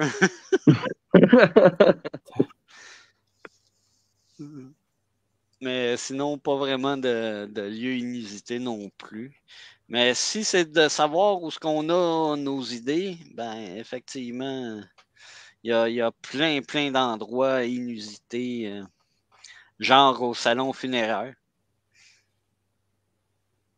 Là, t'es, t'es assis au salon funéraire, tu vois les gens, puis là, tout d'un coup, hey oui, ça, ça serait bon.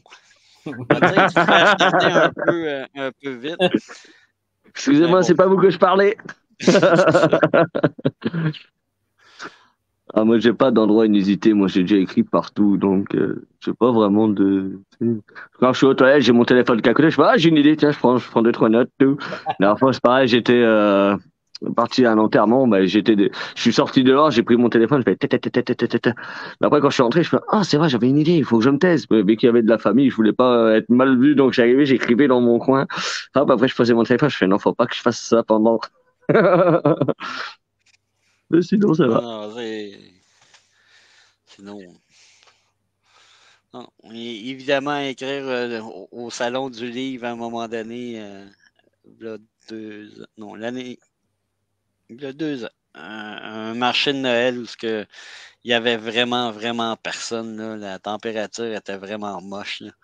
Fait que j'ai mis le portable derrière un petit panneau euh, marqué euh, où ce qu'il y avait le, descriptif du livre, là, la, quatrième de couverture. Fait que j'ai mis le portatif en arrière, fait que je tapais euh, en attendant qu'il y ait du monde. Là. Ok. Alors, moi, c'est du temps bien tu fais employé. le tour des marchands, là, mais Ah ouais. après 12 tours, euh, tu commences à le savoir un peu. Limite, c'est toi qui fais le guide touristique. Ah, bah, là-bas, il y a René, là-bas. Là-bas, il y a René.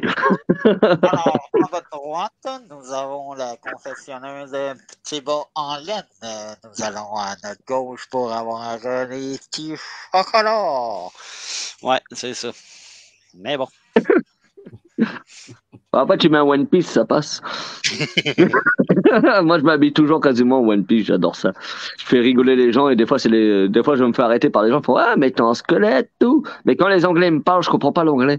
Donc, je la regarde, je fais yes, yes, good, good. sure. Ah, sûr. mais je passe pour un con, mais c'est pas grave. Mais alors, moi, les gens, ils rigolent à chaque fois qu'ils me voient, donc c'est marrant. J'ai envie de taper la honte à mes enfants, moi. Euh, Faites-vous-en pas, je suis allé voir une amie à, à Paris. Puis finalement, euh, la journée, elle travaillait, fait que j'allais me promener un peu. Puis j'ai passé pour un Italien. J'ai absolument rien d'un Italien, on s'entend. Je veux dire, j'ai ni la démarche, ni la shape, ni le vocabulaire. J'ai juste dit bonjour à la madame, puis elle. Ah, vous êtes Italien, vous? Euh, j'ai dit bonjour. Attends, où, où c'est je me suis trompé dans mon italien?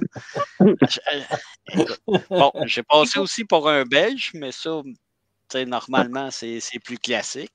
Mais un Italien, C'est vrai que les Belges et les Québécois, vous avez beaucoup, beaucoup de similitudes. Ah. Même dans l'accent aussi, euh, il y a certaines parties, c'est vraiment euh, quasiment pareil. Ah ouais? Non, c'est vraiment, moi, c'est ce que j'ai toujours dit, la Belgique, ça correspond vraiment plus au Québec. Moi, déjà, quand je, suis, je viens de France, donc quand déjà la mentalité française, euh, je juge pas les Français, mais on se marche beaucoup dessus. Donc, on prend pas le temps de nous, euh, de dire, oh, tiens, ça va bien, nana. Alors qu'ici, moi, quand je suis arrivé, on m'a dit bonjour, j'ai regardé ma femme, je ça va? Qu'est-ce qui se passe? Je fais, bah, ils disent bonjour, je fais, punaise, nous, ils t'envoient chier comme ça, c'est pas possible. Je fais, j'ai pas l'habitude qu'on vienne me dire bonjour, ça va bien. Ici, les gens, ils sont, ils sont habillés euh, dans tous les styles. Tu vois, en France, t'es jugé pour le moindre truc. Donc, même à Paris, tu vas poser une question, ils vont te prendre pour un terroriste. Ils vont dire, ah non, euh, tu vas là-bas ou tu vas là-bas, alors qu'ils connaissent leur quartier. C'est, spécial. C'est bien à visiter tout, mais à y vivre, euh, c'est, ouais, c'est compliqué. On se marche trop dessus. Bon, j'ai l'impression que ça dépend. euh, c'est- C'est sans doute un peu partout pareil. Ça dépend, euh, ça dépend des quartiers puis avec qui tu es aussi. Parce que honnêtement, j'ai pas, euh, j'ai pas habité, mettons, dans Paris, mais j'ai, je suis allé à quelques reprises. Puis bon, euh, oui, effectivement, il y a des gens qui, qui comprenaient absolument rien de ce que je disais. Puis euh, euh, la pire catastrophe, c'est d'aller à Quincaillerie. Ah, ouais. Oh là! Les termes sont pas du tout pareils. Surtout que ici au Québec, on a encore beaucoup de mesures impériales.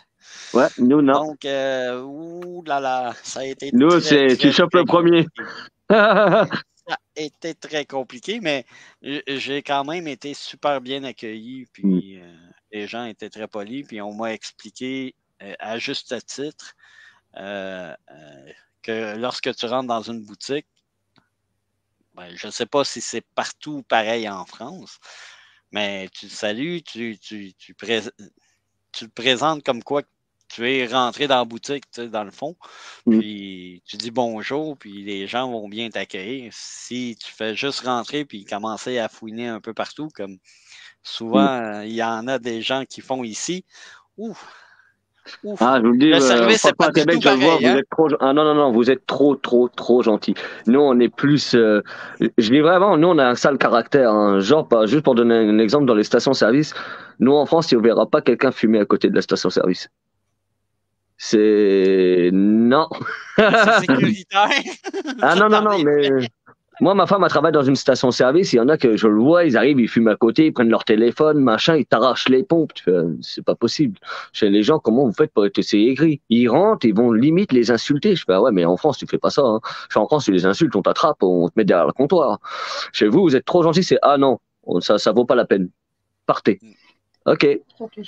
Ils font ce qu'ils veulent. Surtout les, les chauffeurs de taxi aussi, c'est quelque chose. Hein. Ils se mettent, ils bloquent la circulation, ils se bloquent, ils s'en foutent de ce que tu dis. Tu fais, ok, d'accord. Alors que nous, en France, c'est pas du tout ça. Les gens, ils sont vraiment plus, plus droits à ce niveau-là.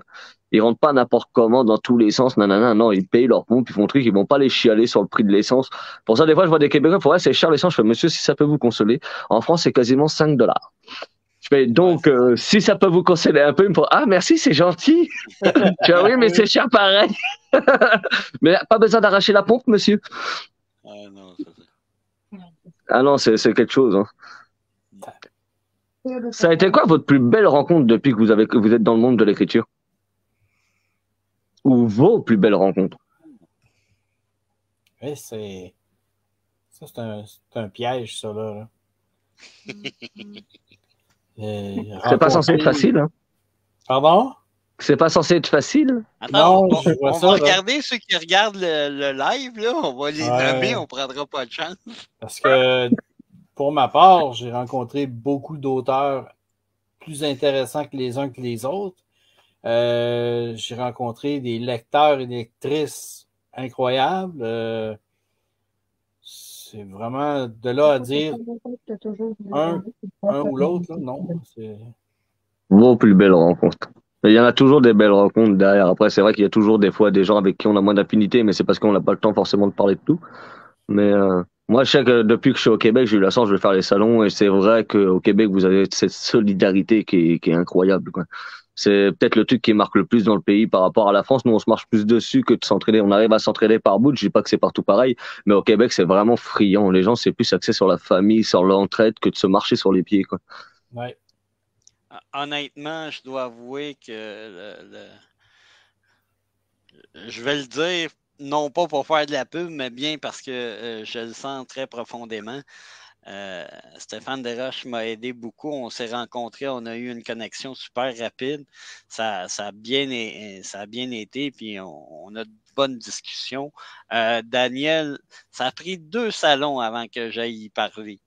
C'est le chapeau qui t'a intrigué. Euh, moi, non, non, Ah, honnêtement, intimidant, c'est pour ça. ouais, ben. J'étais un gars timide, là, puis j'étais pas trop, trop sûr, puis je savais surtout pas quoi dire, mais euh, sa couverture et son livre m'intriguaient tellement que puis j'ai découvert un homme généreux puis super sympathique. On a fait un salon à, à Québec euh, côte à côte, puis ça a été une super journée. Euh, avec Patrick Hamel, il y a toujours eu des excellents commentaires euh, au sujet des, des productions que, que j'avais. Puis euh, ça a été un, un boost euh, moral très important pour moi. Euh, tout comme une lectrice, puis elle, je vais m'en rappeler toute ma vie. Je ne sais pas son nom, honnêtement, et ça, euh, je suis triste de ne pas m'en rappeler, mais j'ai encore son visage, l'image de son visage en tête. J'étais à un, marché des artisans à Saint-Félix-de-Valois. Puis, je devais pas y aller, puis finalement, oh, il y a eu une, dé- une décommande. Il y a un auteur qui s'est décommandé ou un artisan qui s'est décommandé, puis j'ai pu y aller. Puis, euh, bon, j'ai vendu deux, trois livres, mais pas beaucoup. Puis à un moment donné, il arrive le temps d'un dîner, fait que c'est comme deux salles côte à côte. Fait que je pars de ma salle pour aller voir dans l'autre salle qu'est-ce qu'il y a.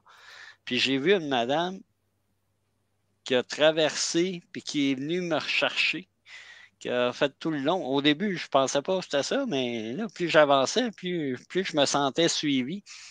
La madame, elle devait avoir euh, fin cinquantaine, début soixantaine. Arrive, elle dit J'ai lu votre livre, je l'ai tellement aimé, là. Vous m'avez redonné le goût de lire. Oh. Hey, ça, ça, ça, ça fait ses forts en, en tabarnouche. Là, tu sais, c'est pas. J'ai rien contre ça, puis au contraire, j'apprécie énormément. Ma famille est super généreuse avec moi, puis elle, elle m'aide beaucoup. Mais une personne que tu connais absolument pas, qui, traverse tout un salon pour venir te voir, pour te dire ça, écoute, ça, ça c'est une des plus belles rencontres, puis une des plus motivantes rencontres que, que j'ai faites. Bah, c'est quand même une belle reconnaissance quand tu vois en plus les personnes qui se donnent la peine et qui te sortent de tels mots, c'est waouh. Ah oui, clairement. Puis, tu sais, au début, je croyais avoir fait. À vrai dire, je ne savais pas exactement c'était qui mon, mon lecteur cible, ne serait-ce moi. J'aurais été un très bon lecteur cible de mes romans parce que j'aime le style que j'écris. Sans doute pour ça que je l'écris, qui, qui, qui, est très moi, mais très aventure, pas. Il y a beaucoup d'écriture sombre, noire présentement. Puis, moi, ça me correspond moins. Fait que, euh, sans dire que c'est euh, happy, ben, ça reste plus. Je dirais que c'est des romans un peu plus pop, si, si vous voulez, là, si on fait le, pendant musical. Fait que, euh, qu'une personne de cet âge-là vienne me dire, après ça, je me suis dit, c'est peut-être des romans plus 16 en montant, 16-17 en montant. Là, de 14 à 16 pour les deux premiers, mais le troisième, mettons 15-16 en montant, un peu plus vieux, mettons. C'est un peu plus rough. Mais euh, que même à cet âge-là, viennent me le dire, puis qu'elles la peine, euh, ça a fait comme, ouais, ben finalement, ça a valu la peine de mettre tant de temps ça, tant d'énergie. Remarque, ça vaut la peine parce que je le fais surtout très égoïstement pour moi, d'abord et avant tout, parce que sinon je serais trop déçu que les gens ne l'aiment pas. je le fais d'abord pour moi, puis après ça, pour que les gens euh, aient du plaisir autant que j'en ai eu à le faire. Mais euh, ouais, je pense que c'est sans doute ma plus belle rencontre puis juste, juste après, ça a été euh, un, euh, un guide. Ben, ça a été ma femme. Faut, faut, faut que je le dise comme ça. Parce qu'elle m'a permis, pour notre voyage de noces, euh, elle a accepté qu'on aille faire un tour en Chine. En Oh, lien avec mes, mes romans. wow. Elle n'avait jamais voyagé de sa vie. Je peux vous dire que 14 heures d'avion, C'est long. faut aimer son mari en tabarnouche. Là, 7 heures, c'est long. Moi, j'ai trouvé long, 7 heures. C'est long, Titi. Surtout quand ils te mettent des vieux films Bollywood, là. Tu regardes des fois, tu tombes sur des trucs, tu fais, mais pourquoi tu mets ça? Donc, quand tu fais des allers-retours, tu te fais 14 heures d'avion, tu fais, oh non. 14 fois le même Ah film. non, euh, ouais, c'est ça. Là, c'était 14 heures aller, Ouais. puis ça comprenait pas l'escale. Fait qu'au total, ça faisait entre 16 et 17 heures. là. Fait que, et, et ça, je dois avouer qu'il faut que ça rentre dans mes plus belles rencontres. Je le mets dans le littéraire parce qu'elle l'a fait bel et bien parce que j'écrivais. Puis elle arrive à dire, tu sais, je sais, pour tes livres, ça va être, tu sais, ça va être mieux pour toi de. Ça va être plus facile pour toi si tu veux faire des descriptions puis comment tu vas. C'est vraiment ça, beau. Waouh. Formidable, ça. Je, je, je tire mon chapeau à ta femme. Ma casquette à le genre tous de les ma femme, que je moi. peux. Ah Moi, elle peut pas me les piquer, je les ai pas encore. Un jour, peut-être. Avec quelle hauteur, le nombre de trois, aimeriez-vous être en retraite d'écriture? Ah. Encore là, c'est pas. C'est Hmm. un piège, là. Tu, tu- tu nommes des, auteurs, puis tu n'en nommes pas d'autres. euh, Attends, Euh, moi, moi on va commencer.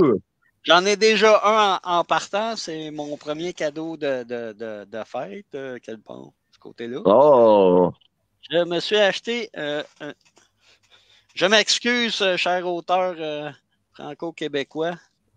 Je me suis acheté la deuxième série des. euh, oh, Ranger Apprentice. Je vous explique un peu rapidement pourquoi. Fait que ça serait Monsieur Flanagan. Euh, John de son prénom, ben oui.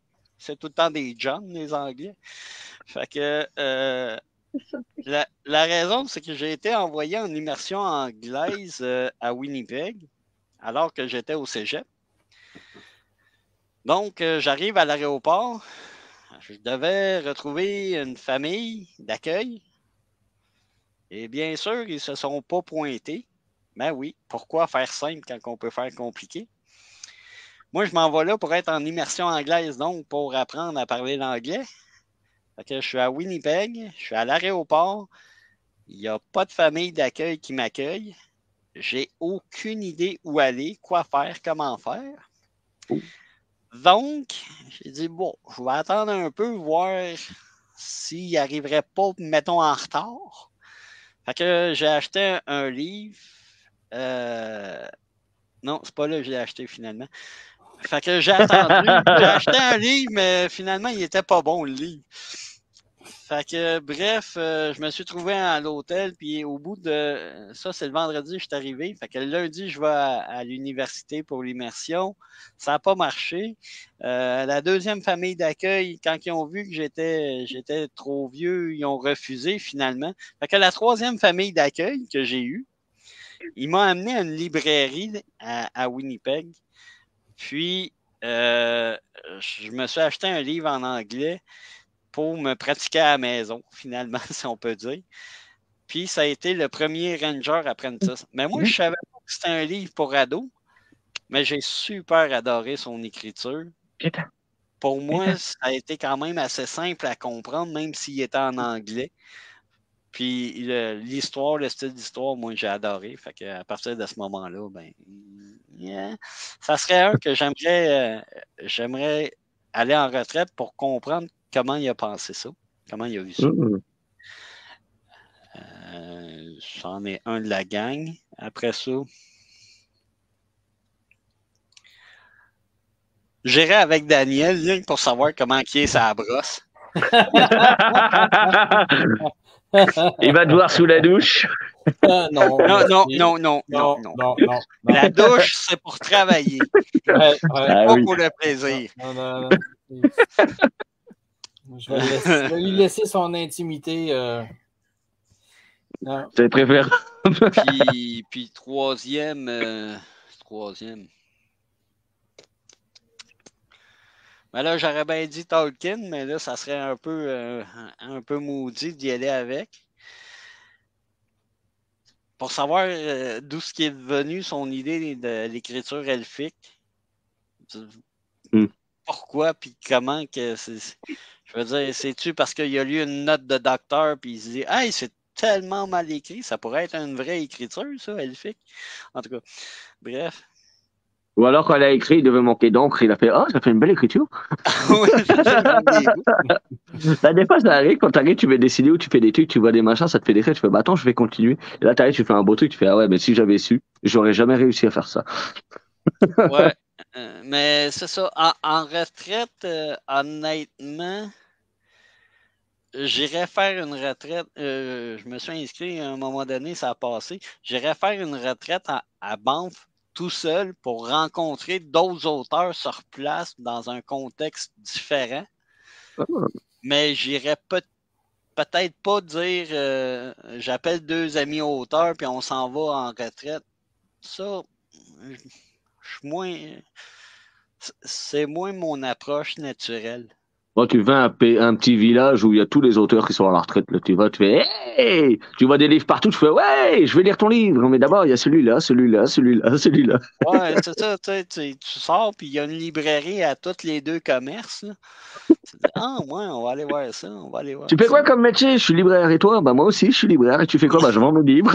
Ouais, moi, je fais différent, je loue des livres. Ah, Oh. des bibliothécaires. Oh.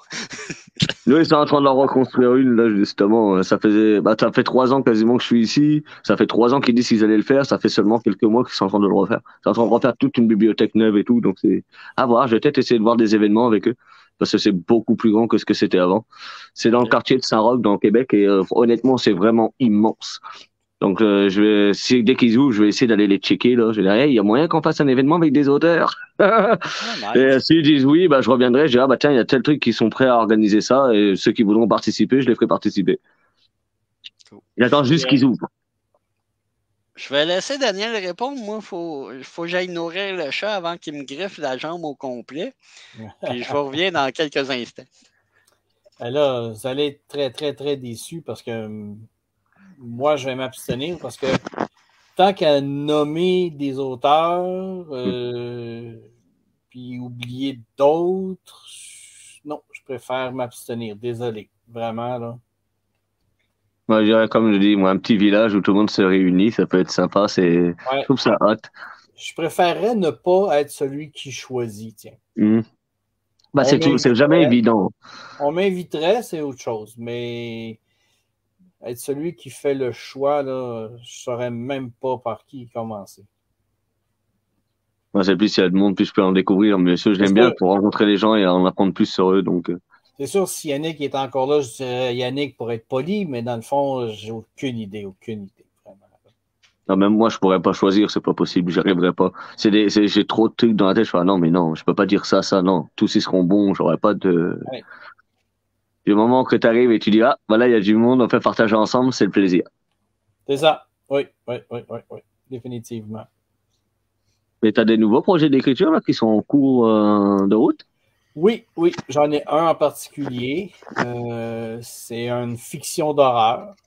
Euh, J'y travaille depuis un bon moment. C'est complexe. J'avais écrit quelque chose il y a longtemps. Euh, mais par la suite, euh, la suite était trop des situations qui devenaient redondantes. Fait que là, je devais, j'ai dû travailler pour euh, la modifier. Mais oui, il y a quelque chose qui, qui, qui s'en vient. Mais encore là, le temps me manque pour m'y mettre euh, sérieusement. Donc, Hâte de voir ça. mais, mais- En tout cas, courage. merci. Mais ça, c'est un des nombreux projets. Euh, j'ai- euh, j'avais un, un- un roman policier aussi que j'avais commencé, que j'ai que j'ai écrit. Il, il fait environ 450 pages, mais c'est mal fait. C'était un de mes premiers, un de mes premiers livres que j'ai écrit. Il est encore sur le premier jet. Et il y a beaucoup d'ouvrages, beaucoup de transformations à faire pour le rendre euh, présentable. Mais un jour. Ça va venir? Oui. Et toi, Yannick? T'as des J'ai projets d'écriture, projets d'écriture? euh, Euh, pas tant. Euh, il me reste euh, neuf tomes à écrire après celui que je fais là. J'ai trois tomes de Cali contre-attaque, qui est mon roman euh, féministe, mon roman graphique féministe. J'ai deux tomes prévus pour euh, mon autre roman graphique, mon autre série de romans graphiques. Euh, j'ai la nouvelle à écrire, euh, la Mm. nouvelle de l'étrange à écrire. J'ai, euh, on avait un projet d'écriture à quatre mains avec un autre auteur québécois, Danny Rotondo, qui a fait plusieurs romans, dont euh, il en sort un cinquième bientôt. On ne sait pas encore Mm. le titre, c'est super mystérieux. Wow. On va l'inviter en live, il va nous sortir le titre. Ouais, c'est ça. Après ça, ben euh, là, j'ai ouais, j'ai euh, j'ai l'étrange euh, idée de transformer mes romans en romans graphiques, les éventails du temps. Ouh. Fait que je vais avoir la version euh, pour parents puis pour euh, ben ça, va être adulte les deux ou à peu près là, mais je vais avoir les deux formats. Fait que il va y avoir Oh. une activité familiale à faire ou je sais pas trop.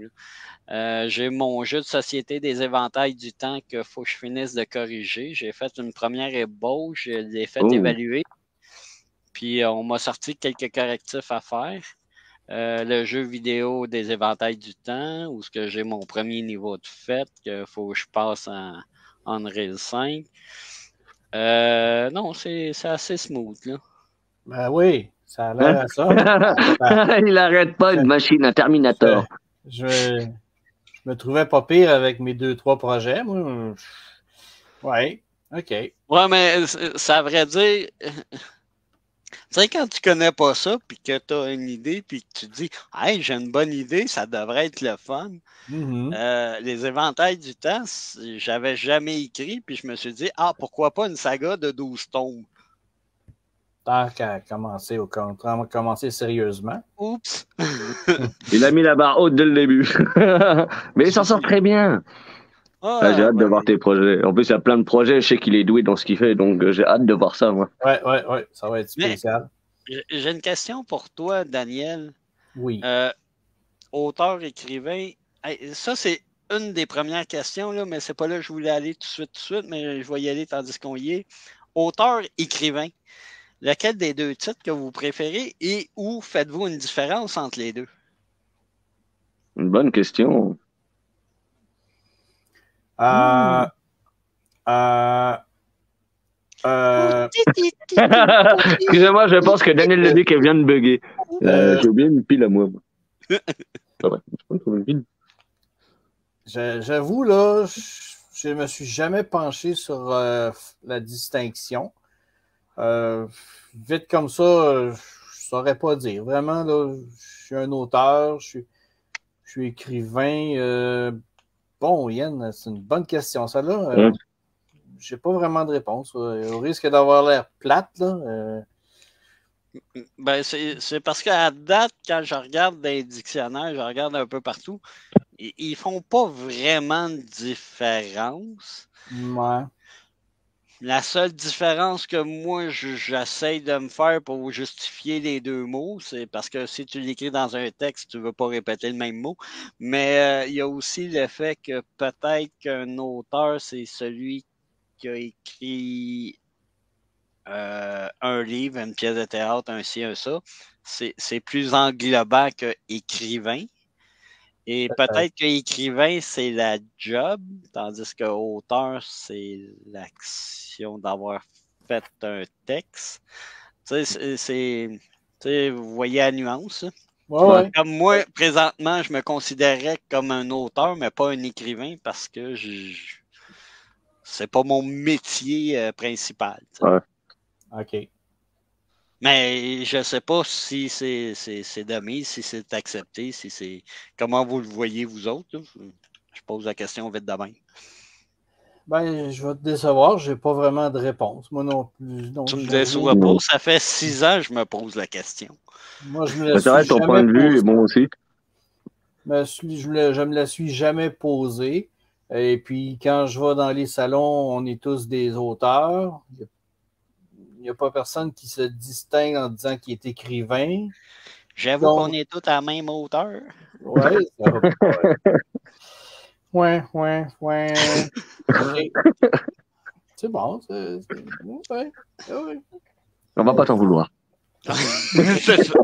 On la refera pas. On la refera pas comme ça au montage. Non, je la laisse Ah non, non, je faire. coupe pas, moi c'est du direct, c'est direct, je Euh. prends du pur comme ça, moi, et hop, je le fous partout. Ouais, ouais. Désolé. Mais euh, ma, ma, ma question euh, originale, Daniel, c'était plutôt serais-tu à l'aise et aimerais-tu être un auteur slash écrivain à temps plein? Oh que oui, j'aimerais. OK. J'aimerais. C'est. J'irais pas jusqu'à dire que c'est un but visé parce que c'est quand même assez euh, demandant et évidemment le contexte aujourd'hui, euh, on dirait qu'il est moins propice peut-être ou je suis juste peut-être pas dans le bon style de livre, mais euh, oui, c'est quelque chose que j'aimerais. Un jour là, euh, me lever le matin puis juste m'installer à l'ordi, pas avoir à me rendre travailler quelque part ailleurs, puis avoir le plaisir, parce que là, ça serait plus un travail, ça serait un plaisir d'écrire et d'écrire pour moi-même et d'écrire pour m'assurer de donner un, certain plaisir aux lecteurs. Euh, écrire dans ce qu'ils aiment, ce qu'ils veulent avoir. Ça, euh, Parce que euh, c'est ça, c'est pour ça que je posais la, question un peu préalable. là. Si on parle d'écrivain ou ce que, mettons, ta maison d'édition te dit là, Daniel, cette année, il faut que tu t'en sortes un. Il faut que tu en sortes un. Euh, puis on va voir ce que ça va donner, là, mais il faut que tu en sortes un. ok, ouais. Tu sais, parce que quand on parle d'écrivain, si on veut à un moment donné arriver à mettre plus que de la salade sur la table, ben, tu sais, il y a des contraintes aussi à aller à être écrivain. là. C'est comme Ben, ça c'est certaine affaire, mais. Moi, je me, je, me- je me mets cette contrainte-là moi-même à essayer de me forcer à en sortir, mais heureusement, ma, ma maison d'édition ne, n'a n'a pas ce genre d'exigence-là, heureusement. Non.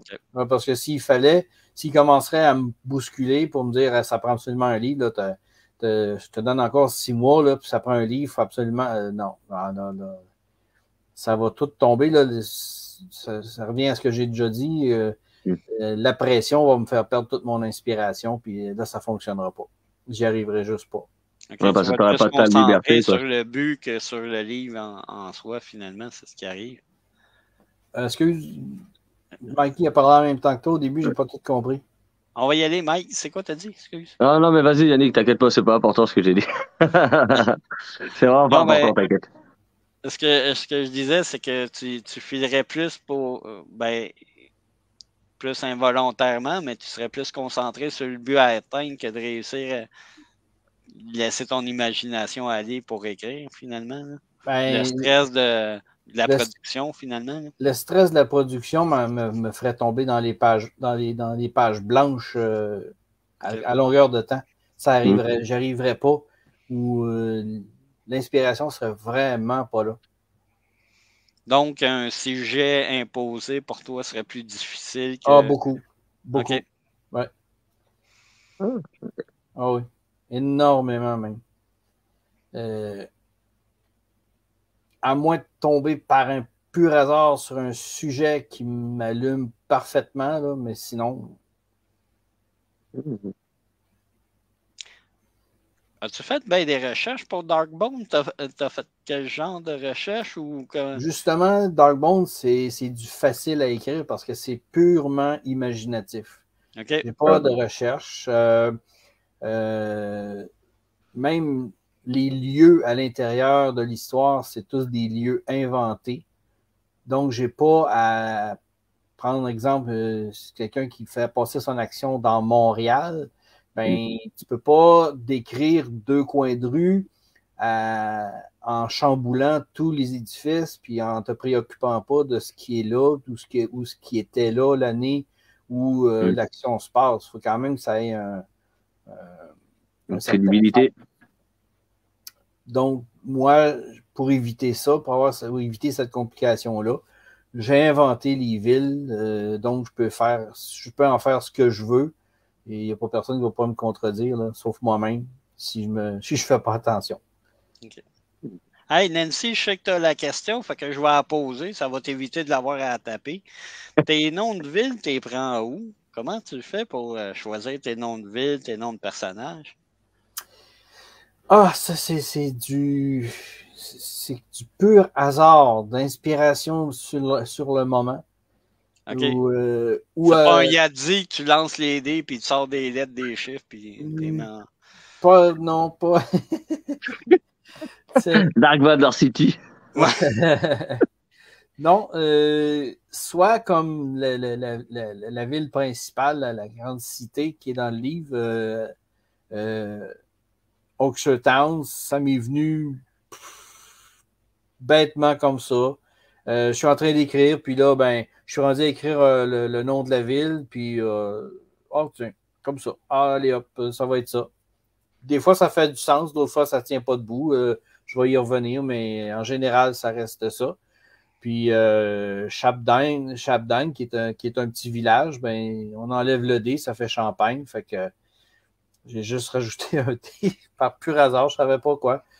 Tiens, comme ça. Je te lève mon casque parce que ça, c'est une chose que j'arrive pas à faire. OK. Euh, Euh, les noms de villes, les noms. euh, c'est, c'est, pour moi, c'est d'une difficulté incroyable. Oh. Ah oui. Fait que euh, moi, malheureusement, ça se passe dans des lieux qui existent, C'est ton droit, là. dans, dans un contexte qui n'existe pas, mais dans des lieux qui. Ben, ça dépend quand dans le roman, là, parce que je trouvais que c'était trop facile de faire rien qu'un roman de fiction.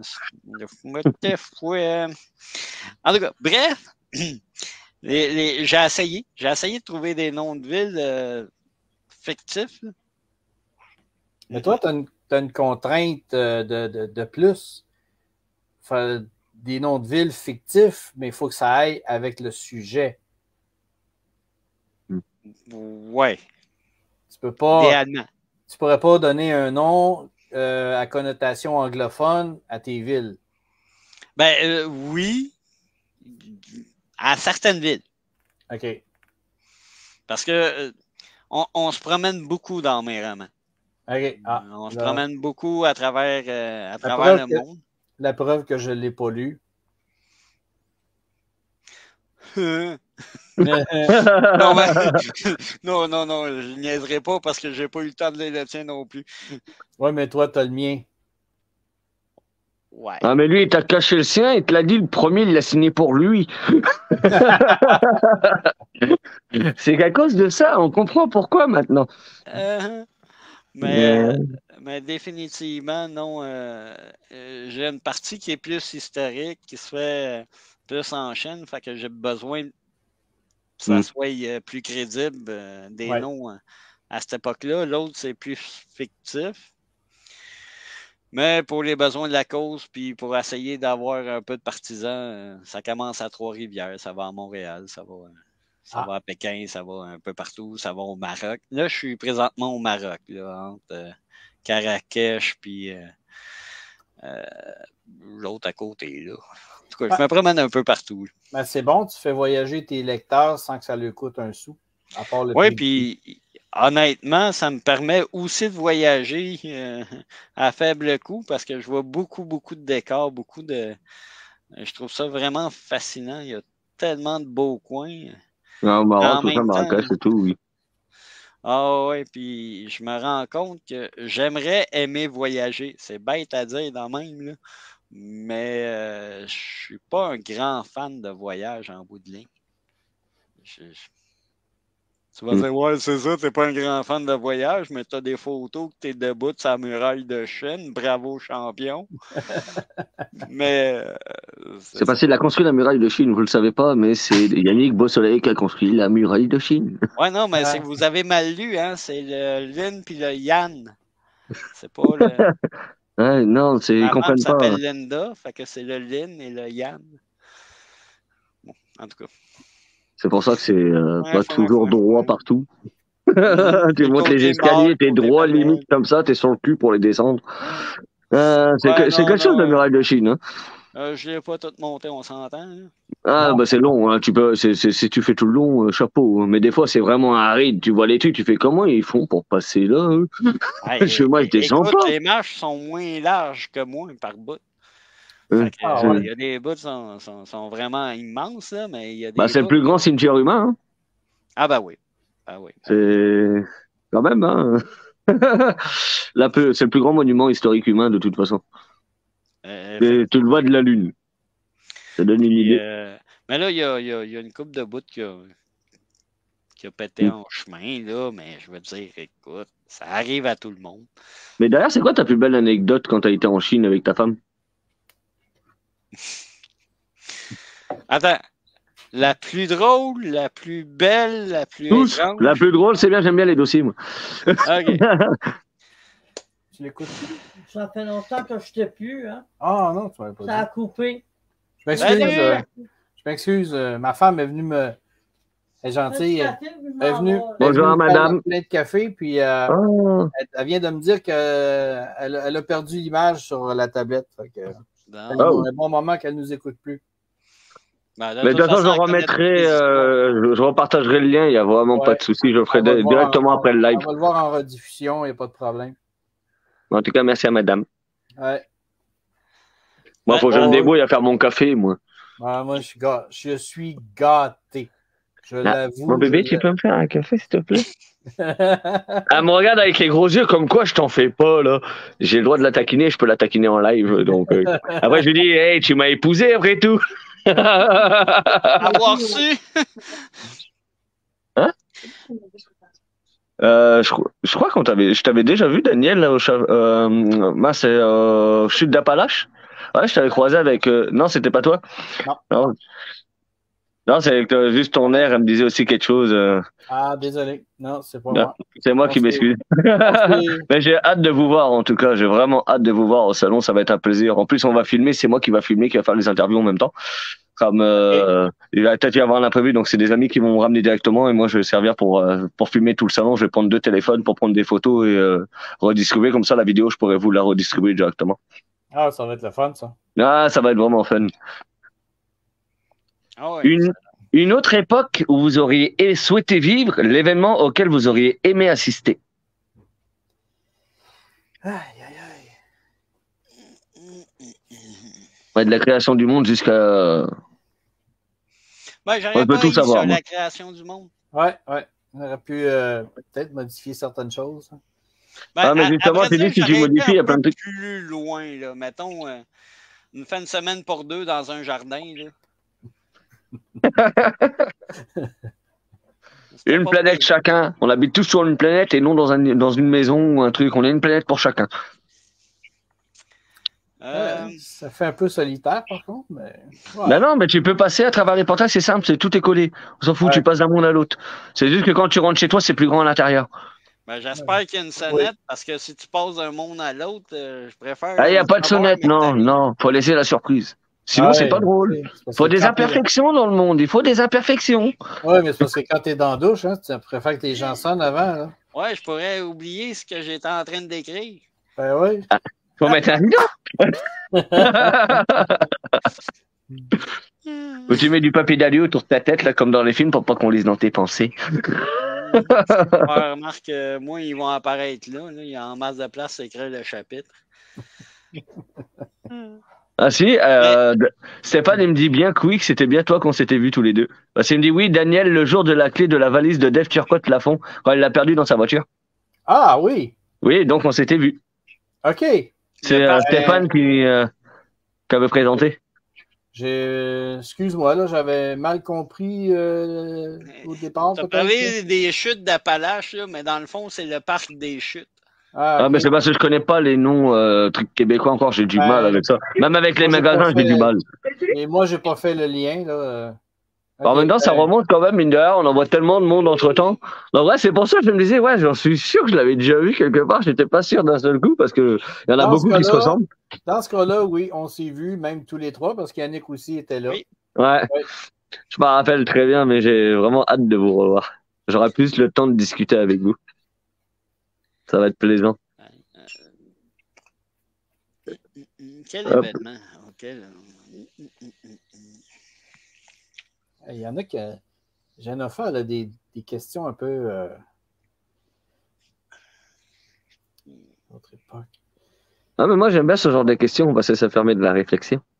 Euh, je, je vais avouer franchement, sans, euh, sans événement particulier, j'aurais aimé vivre euh, dans les années 30. La vie était différente, la technologie était très différente, beaucoup Mm. moins avancée. Euh, et le monde, on dirait qu'il était moins pressé. Ouais, mais tu peux refaire ça, hein? T'as rien qu'à aller en Gaspésie. OK. Non, mais honnêtement, je suis allé faire une formation à Gaspésie. euh, euh, bon, en tout cas, je vous épargne tous les millions de détails, là, mais euh, bref, la, la première chose que j'ai réalisée là-bas, c'est que c'était compliqué de ralentir. Mm. Quand tu es habitué de rouler à 100 à l'heure, rien qu'aller à 80, là, c'est pas facile. C'est parce qu'on est dans un monde où on speed. Mais c'est ce que j'ai adoré de la Gaspésie. Puis à ma retraite, ça serait une place où ce que je voudrais aller, clairement. Puis euh, à quelle époque je voudrais. Je vais répondre à la question, moi. À quelle époque que je, vou- vou- je voudrais, euh, je voudrais aller? À ma retraite. Reste là, là. Là. L'événement où ce que je vais prendre ma retraite, la journée je prends ma retraite, je vais commencer à écrire pour de vrai Ouais. puis dire Ah, un matin, je vais aller voir mon petit potager. Après ça, je vais aller écrire une coupe de pages. Je vais faire ma sieste avec mon chat. Je vais retourner au potager, aller chercher des fruits et revenir continuer à écrire, faire un peu de design. Ouais, ça, euh, c'est pas mal une époque que j'ai hâte. OK. Ouais, c'est bon. Euh, très bon, Yannick. Très, très bon. Je m'attendais pas à celle-là, par contre. Là, à la retraite. Celle-là, franchement, je m'y attendais pas. Elle est bonne. Il y a la côte nord aussi, euh, ça t'apprend à ralentir en titi. Moi, j'avais été voir l'oncle à ma femme en côte nord, j'ai fait waouh. Euh, Ouais, ok, mais ça, c'est pas pareil. La Ah, côte non. nord, c'est qu'il fait tellement frais, tu peux pas aller vite, t'es gelé sur place tout le temps. Ah, ça va. Bah euh, non, là-bas ça va. Lui, il est, pas- il est proche de la plage. En plus, il est pas loin de la plage. Je traverse euh, l'autoroute à deux minutes de la plage. Mais non, ça va, c'est sympa. Moi, j'aime bien. Mais après, il fait... je suis peut-être parce que je suis une bouillotte aussi. J'ai pas froid. Moi, je suis pas un frileux.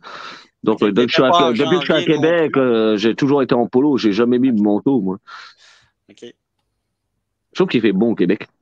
Euh, ben, honnêtement, je peux vous dire que euh, à Matane, sur le bord du fleuve, euh, j'avais mon casque de poêle à la Popov, puis je veux dire, euh, ouf, il fournissait pas. J'avais du climat d'une moustache à l'autre, puis euh, Oh. euh, c'était assez difficile. J'avais de la misère à garder les yeux ouverts, les cils étaient gelés ensemble. Ouh. je faisais juste mettre de l'essence dans le char. Là. Que. Moi, ça m'est arrivé une seule fois en France quand j'étais dans, dans le département du 77. En fait, il y avait une grosse tempête de neige et euh, de verglas qui tombait. J'a- J'avais les cheveux longs, j'avais les cheveux jusqu'aux épaules à ce- à cette époque-là. Mes cheveux, mais je les cassais comme ça. Je m'étais fait la coupe juste en me les cassant comme ça. J'avais les yeux qui collaient, les lèvres complètement bleues, la moustache, je l'ai enlevée à la main comme ça. C'est- Ça partait, j'ai fait ça, j'étais tout rouge ici, j'ai eu plein de plaques. C'est le moment le plus froid que j'ai connu euh, en France. C'est tellement gelé et humide que bah, t'as, t'as, t'as mal partout, t'avançais même pas. On était quoi On a fait une heure de marche aller-retour. Hein. Et on était congelés comme pas permis. quoi. J'ai jamais vu un froid pareil. Pourtant, ici, il y a de la neige, mais il fait pas aussi froid que ça. C'est, c'est gérable. Bon, t'as- t'arrives à voir la petite moustache qui devient blanche. Ça doit dépendre des endroits au Québec, parce que moi, je suis à Québec, Québec, donc il doit pas faire aussi froid qu'ailleurs. je suis bien situé, ça va. Mais euh, ouais, c'est, c'est, c'est quelque chose. Quoi. J'ai une question qui me turlupine. Si c'est pas trop indiscret, Daniel, tu travailles dans quoi? Présentement, je travaille dans une usine qui fabrique du film d'emballage. OK? Euh, imagine du saran wrap géant, très épais. Euh, le film qu'on fabrique va servir à des, des, des- l'emballage alimentaire. Euh, par exemple, les sacs de chips. Hmm. Tous les sacs de chips euh, Lay's sont créés à partir de notre film. OK. Oh, Cool. ah, un exemple fra- frappant là, que un plastique à la fois euh, souple et rigide. Un sac de chips, c'est c'est- quand tu le déchires, là, il est tellement il est souple, mais il est tellement rigide que quand tu le déchires, si tu ne tires pas comme il faut, ben, il déchire tout croche, il peut ouvrir au complet. C'est notre film. OK. Oh. Ouais, quand même. C'est de la job, mine de rien. Fait que de dire, c'est un film d'action. tu t'es fait filmer, c'est ça? Et avant, On essaie de se mettre au niveau de Yannick. Il- Moi, je sais qu'il a un bon niveau. Ah non, mais ça va être dur de te rattraper, là. Il y a la fatigue, je pense, qui joue aussi.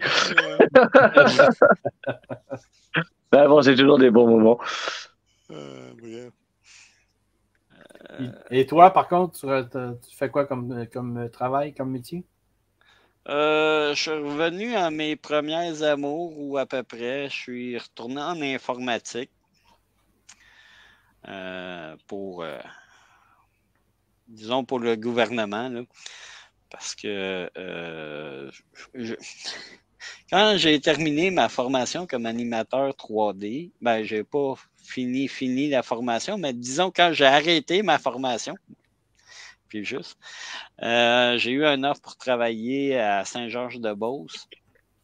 Fait que je suis parti de Matane pour revenir à Saint-Georges-de-Beauce. Là, j'ai, j'ai refait de la programmation, est, qui est pour moi à peu près la même chose que, que d'écrire un livre, euh, d'écrire une histoire, sauf dans un autre langage à, à d'autres buts, mais tu sais, la mécanique pour moi est à peu près la même.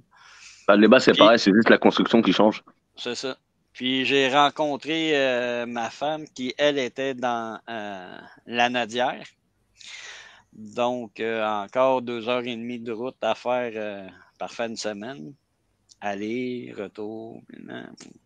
Fait que finalement, j'ai décidé, euh, on m'a aidé aussi un peu à décider, à, à faire le saut, puis de m'en revenir dans la Nadière où je, je suis natif. Puis euh, en bout de ligne, euh, je changeais de compagnie. La compagnie a fait faillite. Fait que je me suis retrouvé à travailler chez McDo à 37 ans. C'est pas facile. C'est hein? Un drôle d'univers. Moi, j'appelle ça les feux de l'amour. Euh, ouais, Mm, ouais, ouais, mm, on va eh dire oui. ça comme ça.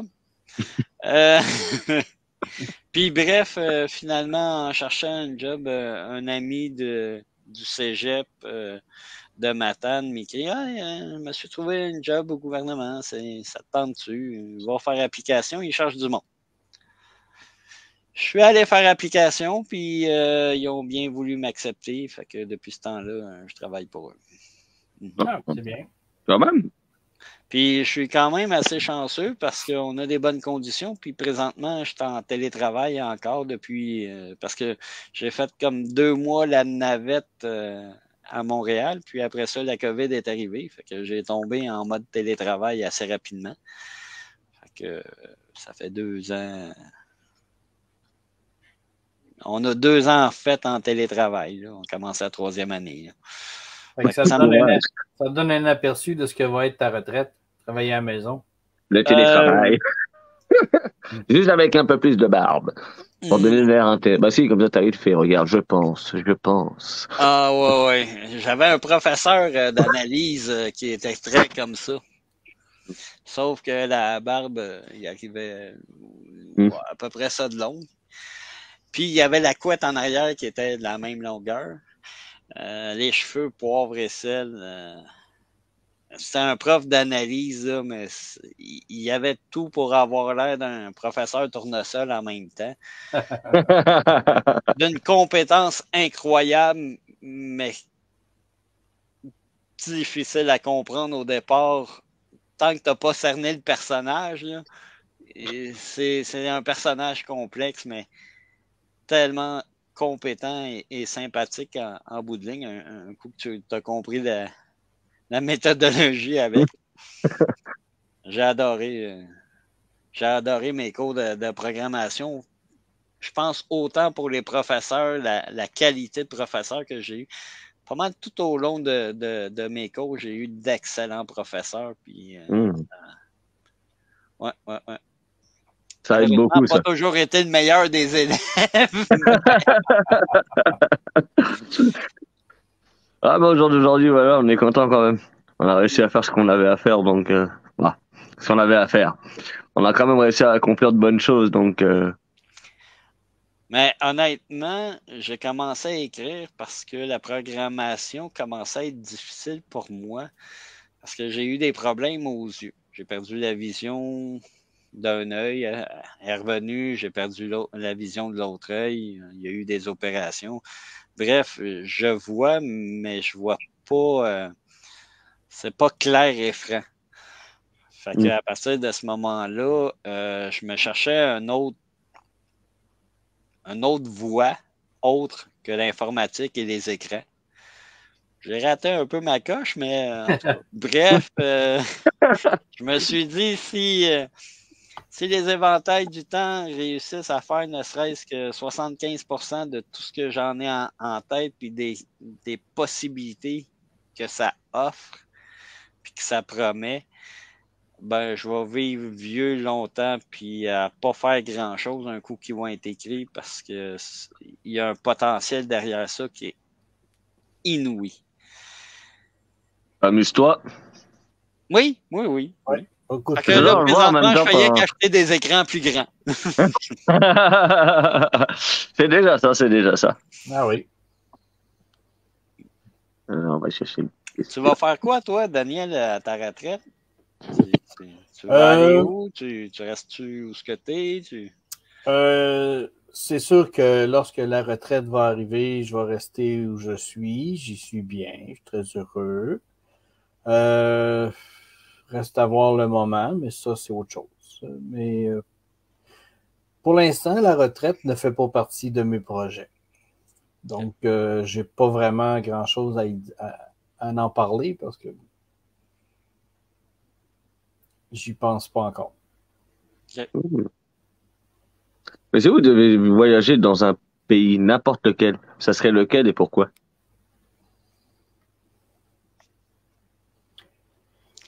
Eh, bon, Yann. Un pays. Bah, Une ville, a n'importe quoi, je peux. Oui, oui, je peux, je, je vais vous faciliter la tâche. Mais dans les faits, euh, moi, j'aimerais aller voir les pays scandinaves. Mm. Euh, parce que, un, mon côté diabétique euh, préfère les nuits fraîches. Fait qu'aller au désert, ben, dans le désert, c'est pas pire, les nuits sont fraîches pareil, là, mais. un peu euh, trop, même. Au Sahara, attendez-moi, ça compte. Ouais, ouais, non, mais je veux dire, oh, moins 50, ça commence à, Ah oui, oui, oui, oui. ça commence à être bien, là. Ça, ça... On va avoir deux, trois couvertes de plus. Là. Pour, un- pour une fois, je vais avoir autant de couverture que ma femme. Euh, mais les tropiques, tout ce qui est humide, euh, humide Mm. tropique, ça, c'est très, très, très mauvais pour moi. Mais euh, les pays scandinaves, euh, l'Écosse, euh, dans ces eaux-là, il y, a- il y a aussi beaucoup d'histoires, il y a beaucoup de... Le mystère. Ouais, Mm. ouais, ouais, puis c'est, c'est, c'est des choses qui m'intéresseraient. Euh, les, les, la beauté des paysages euh, montagneux, la, la mer, le- tu sais, tout ça m'intéresse beaucoup. J'aurais, sans doute aimé ça être, euh, non, j'aurais pas aimé ça être un viking, mais j'aurais aimé vivre un Mm. peu dans le, le contexte viking, mettons. Fait que, euh, ça. Ça va être mon look, moi, de viking. La grosse barbe, là, avec les nœuds, là, et juste la tête derrière. Là, je laisse pousser, il y a du laisser aller, mais c'est pas grave. On va t'appeler Sven Donfer. Mais, ouais, mais j'aime bien ce style-là. J'ai toujours été fasciné par euh, l'histoire des Vikings et tout. Je, je sais pas, il y a quelque chose, euh, il y a dans l'histoire qui fait, je sais pas, c'est mystérieux, c'est, c'est attirant, je sais pas. Il y a, je, je, je sais pas ce qu'ils ont. Ils ont une certaine prestance qui fait que euh, moi, ça me fascine. Mais c'était une société qui était hyper structurée, dans le fond. Fait que, euh, puis on a, ben, moi plus jeune, euh, j'ai été élevé avec, avec euh, Vicky euh, et Vicky Hay.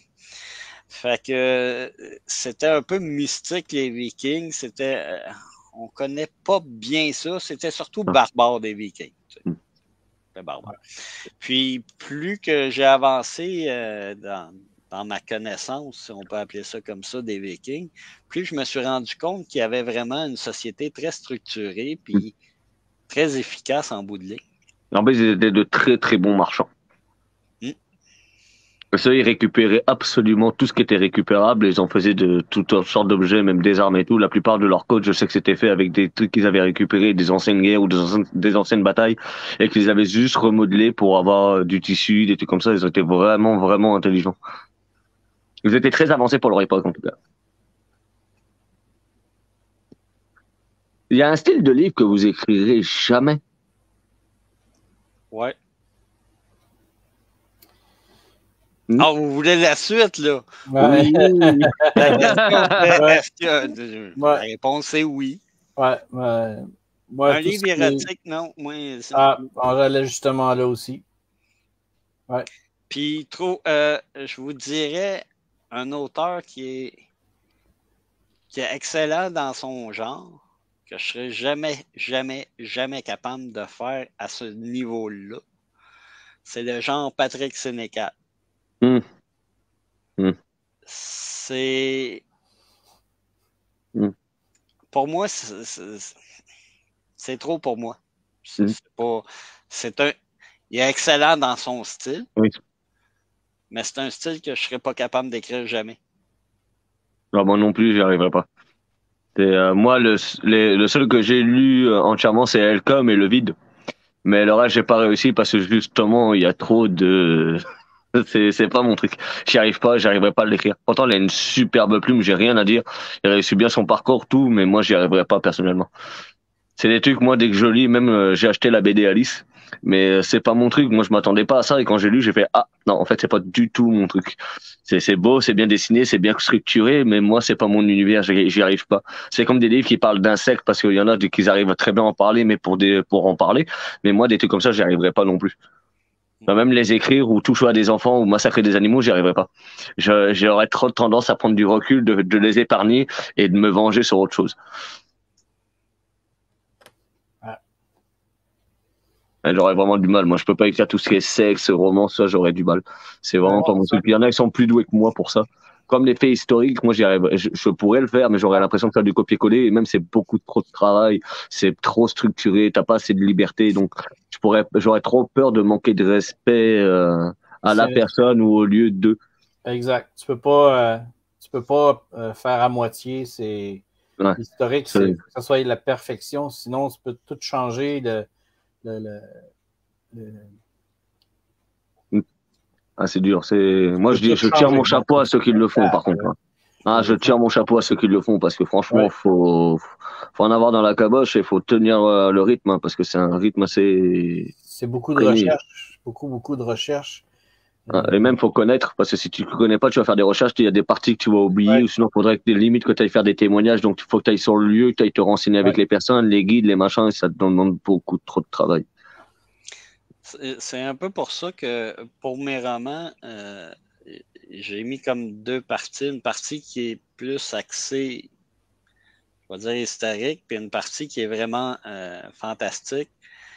Parce que ce que je voulais pas faire, même si l'histoire ou ce que j'en ai lu est vraiment juste à elle mériterait une saga au complet. là. C'est- C'est pas Shogun, mais presque. Mais je voulais pas écrire un livre historique pour, pour les raisons que vous avez nommées, puis parce que je suis pas un historien, Mm. puis que c'est c'est un métier en soi, parce que les détails sont tous hyper importants. Ouais. Mais je voulais m'accrocher à l'histoire, puis je, je le mets pratiquement dans tous mes livres, je l'indique, que c'est basé sur des faits historiques, mais dans le but d'attirer euh, la curiosité des lecteurs vers ces faits-là pour qu'ils fassent leurs recherches, puis qu'ils voient jusqu'à quel point notre histoire est riche d'histoire, puis de, de choses fantastiques qu'on qu'on connaît pas. Fait que euh, moi, j'aurais aimé ça, être étudier plus en histoire, ces choses-là, Mm. mais j'ai pas assez de mémoire. Ma mémoire est pas assez euh, euh, est pas assez fiable pour m'en aller dans ces choses-là. Fait que j'ai, c'est pour ça que j'indique tout le temps que c'est basé sur des faits historiques, mais c'est romancé, puis il faut pas prendre ça pour un, un, un livre d'histoire, c'est pas du tout ça. là. Par contre, je donne toutes les références que j'utilise pareil. Non, mais ça, c'est hot, justement, comme tu dis, ça permet aux gens de se renseigner, d'avoir plus de connaissances. Ouais. Moi, je suis friand des trucs comme ça, j'adore ça. Moi, quand je vois les références et tout, je suis toujours obligé d'aller checker un œil, de dire, tiens, je vais aller voir ça, ça, ça, ça. J'adore savoir, j'aime bien tout savoir. Moi, je pourrais connaître l'histoire de tout le monde, de chaque espèce, de chaque animal ou de chaque être vivant. Je m'amuserais à être à leur place et à les suivre tout doucement. Ah, C'est passionnant, moi, je trouve ça passionnant.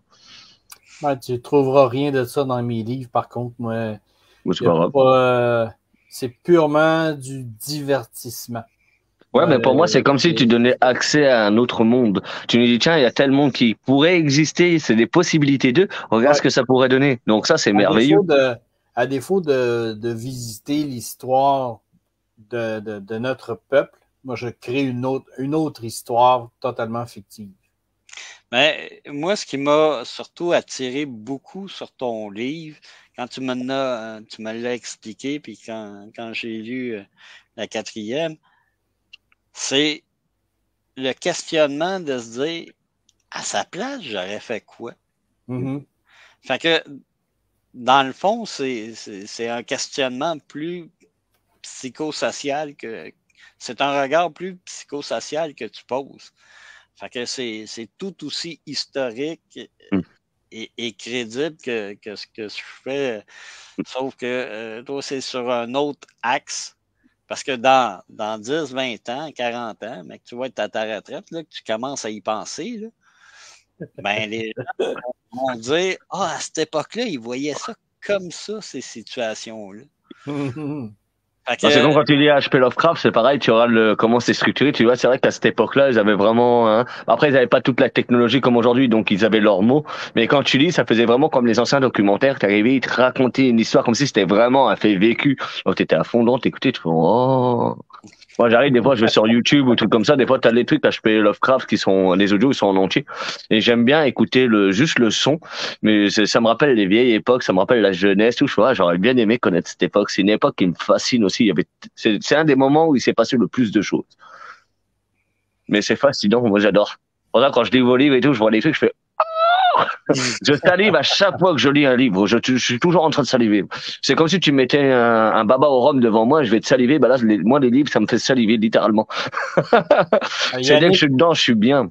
Yannick, lui, peut pas saliver devant un baba au rhum. ah, Mais non, parce qu'il a déjà non, mangé je- le baba au rhum. non, moi, je prends rien que le rhum, c'est tout. Bah, c'est, c'est le plus important dans le baba au rhum. C'est le rhum. ça réchauffe un peu les boyaux. Moi, je babave au rhum. Ah. Ah, Yannick. j'ai, j'ai- là où je travaillais avant, tard, j'ai une femme qui me ramenait mon café rhum tous les matins. Moi, je, je faisais traverser les jeunes euh, à l'école.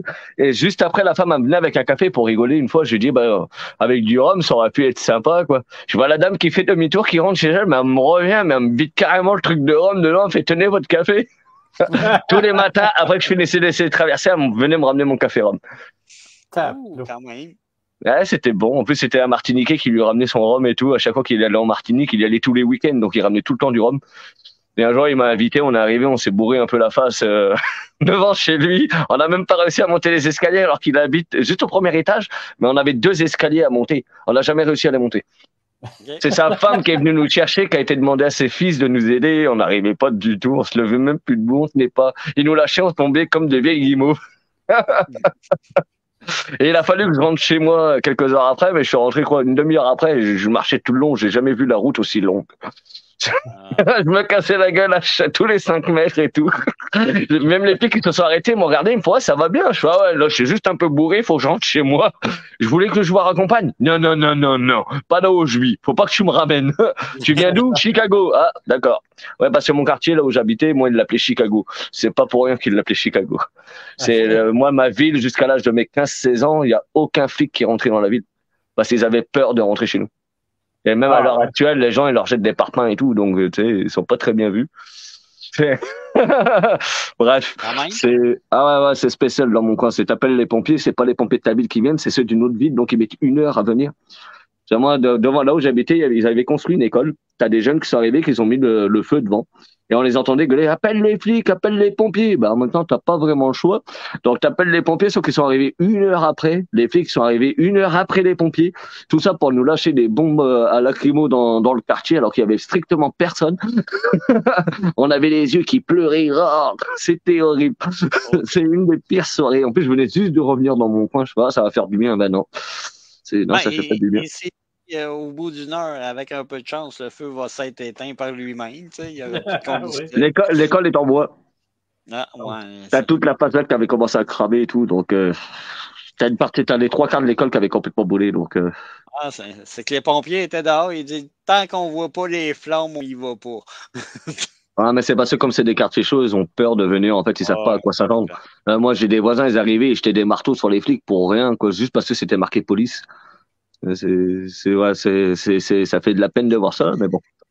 Ah, il y a de l'insignifiance partout. Qu'est-ce que tu veux? Vous voulez nous lire la C4 de vos livres? OK. Si ça vous dit. Euh... euh, Yannick, il dit, je voulais pas ça, moi. Moi, j'écris, je lis pas. Bah, ça veut dire que tu vas le lire quand, Daniel Hein? T'as vu comment il est? Ah, ouais. T'es en direct, hein, tout le monde va le savoir. Moi, je l'ai- mis dans une vitrine, c'est tout. Son Ah, livre, t'en je l'ai vas mis dans une vitrine. Je vais le faire laminer, puis je vais Ok. dire. euh, Avec la petite lumière dessus, comme le petit vin. Oh, le socle. J'en suis sûr qu'il a un petit hôtel avec ta photo, la petite bougie, tout. J'ai ah, ah. Vas-y, Daniel, euh, je te sens motivé. OK. Ben moi, je ne vous lirai pas la, la, la C4. Je, je- je- j'ai un résumé qui parle un peu euh, des trois livres. C'est- Ah. C'est un peu plus élaboré. T'as vu, Yannick, il y en a qui t'a coiffé sous le poteau. Ben, je dis rien à ça. Euh, au, au début, on, on découvre, euh, on découvre les déboires d'Antonin dans, dans sa vie, puis dans, surtout à l'école. Puis euh, son principal agresseur, parce que c'est son problème, il se fait beaucoup agresser à l'école, se fait intimider. Euh, son principal agresseur, c'est un, sacré trou, un, un salaud, genre. Puis, Un Antonin. Pardon? C'est un tabarnak. Ah oui, oui, oui. Puis Antonin, ben, il a le don de se foutre dans le trouble lui-même, fait que euh, ça va pas bien à l'école. Par la suite, euh, ses parents lui annoncent le- un déménagement parce que les- le, le- le grand-père est décédé, ils ont hérité de la maison de campagne du grand-père et ils vont s'en aller en campagne, justement. Le, le- le jeune, lui, il a, il a grandi en ville, euh, gra- grandi dans la grande ville, puis la campagne, ça ne l'intéresse pas. Euh, mais il n'a pas le choix. Puis là, ben, il, va se rebeller, il va avoir des, des, des- des- difficultés avec ses parents. Puis là, ben, il va arriver un autre problème, c'est re- la rentrée à l'école dans cette nouvelle ville-là, dans cette euh, en campagne, une autre école.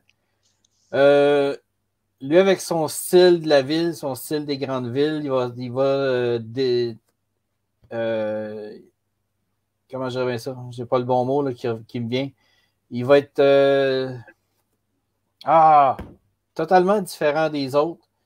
Puis, il veut, veut pas, il va se faire remarquer. Il passera pas inaperçu. Puis là, ben, ça va y amener d'autres genres de problèmes qui sont co- complètement différents de l'intimidation, les agressions vont être très différentes de ce qu'il a, vécu en ville. Puis là, ben, un jour, il va découvrir un objet extraterrestre qui va lui donner des, des, des pouvoirs surnaturels. Puis là, ben, contrairement à- aux super-héros qu'on connaît, qui, qui veulent tous euh, sauver le monde, aider les gens, lui, il va vouloir garder les, les- les pouvoirs pour lui-même, pour se venger, s'enrichir. Euh,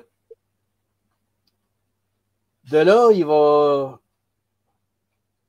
Euh, il me manque un bout dans mon affaire. On rembobine, on recommence. OK. Euh, de là, il va. En utilisant ses pouvoirs, il va, il va créer, il va faire des, des- des bêtises parce qu'il est un peu trop euh, innocent. Puis, dans ses bêtises, il va, il va mettre la Terre entière en danger. Ah, J'aurais été bien mieux de lire la C4, ça aurait été beaucoup plus simple finalement.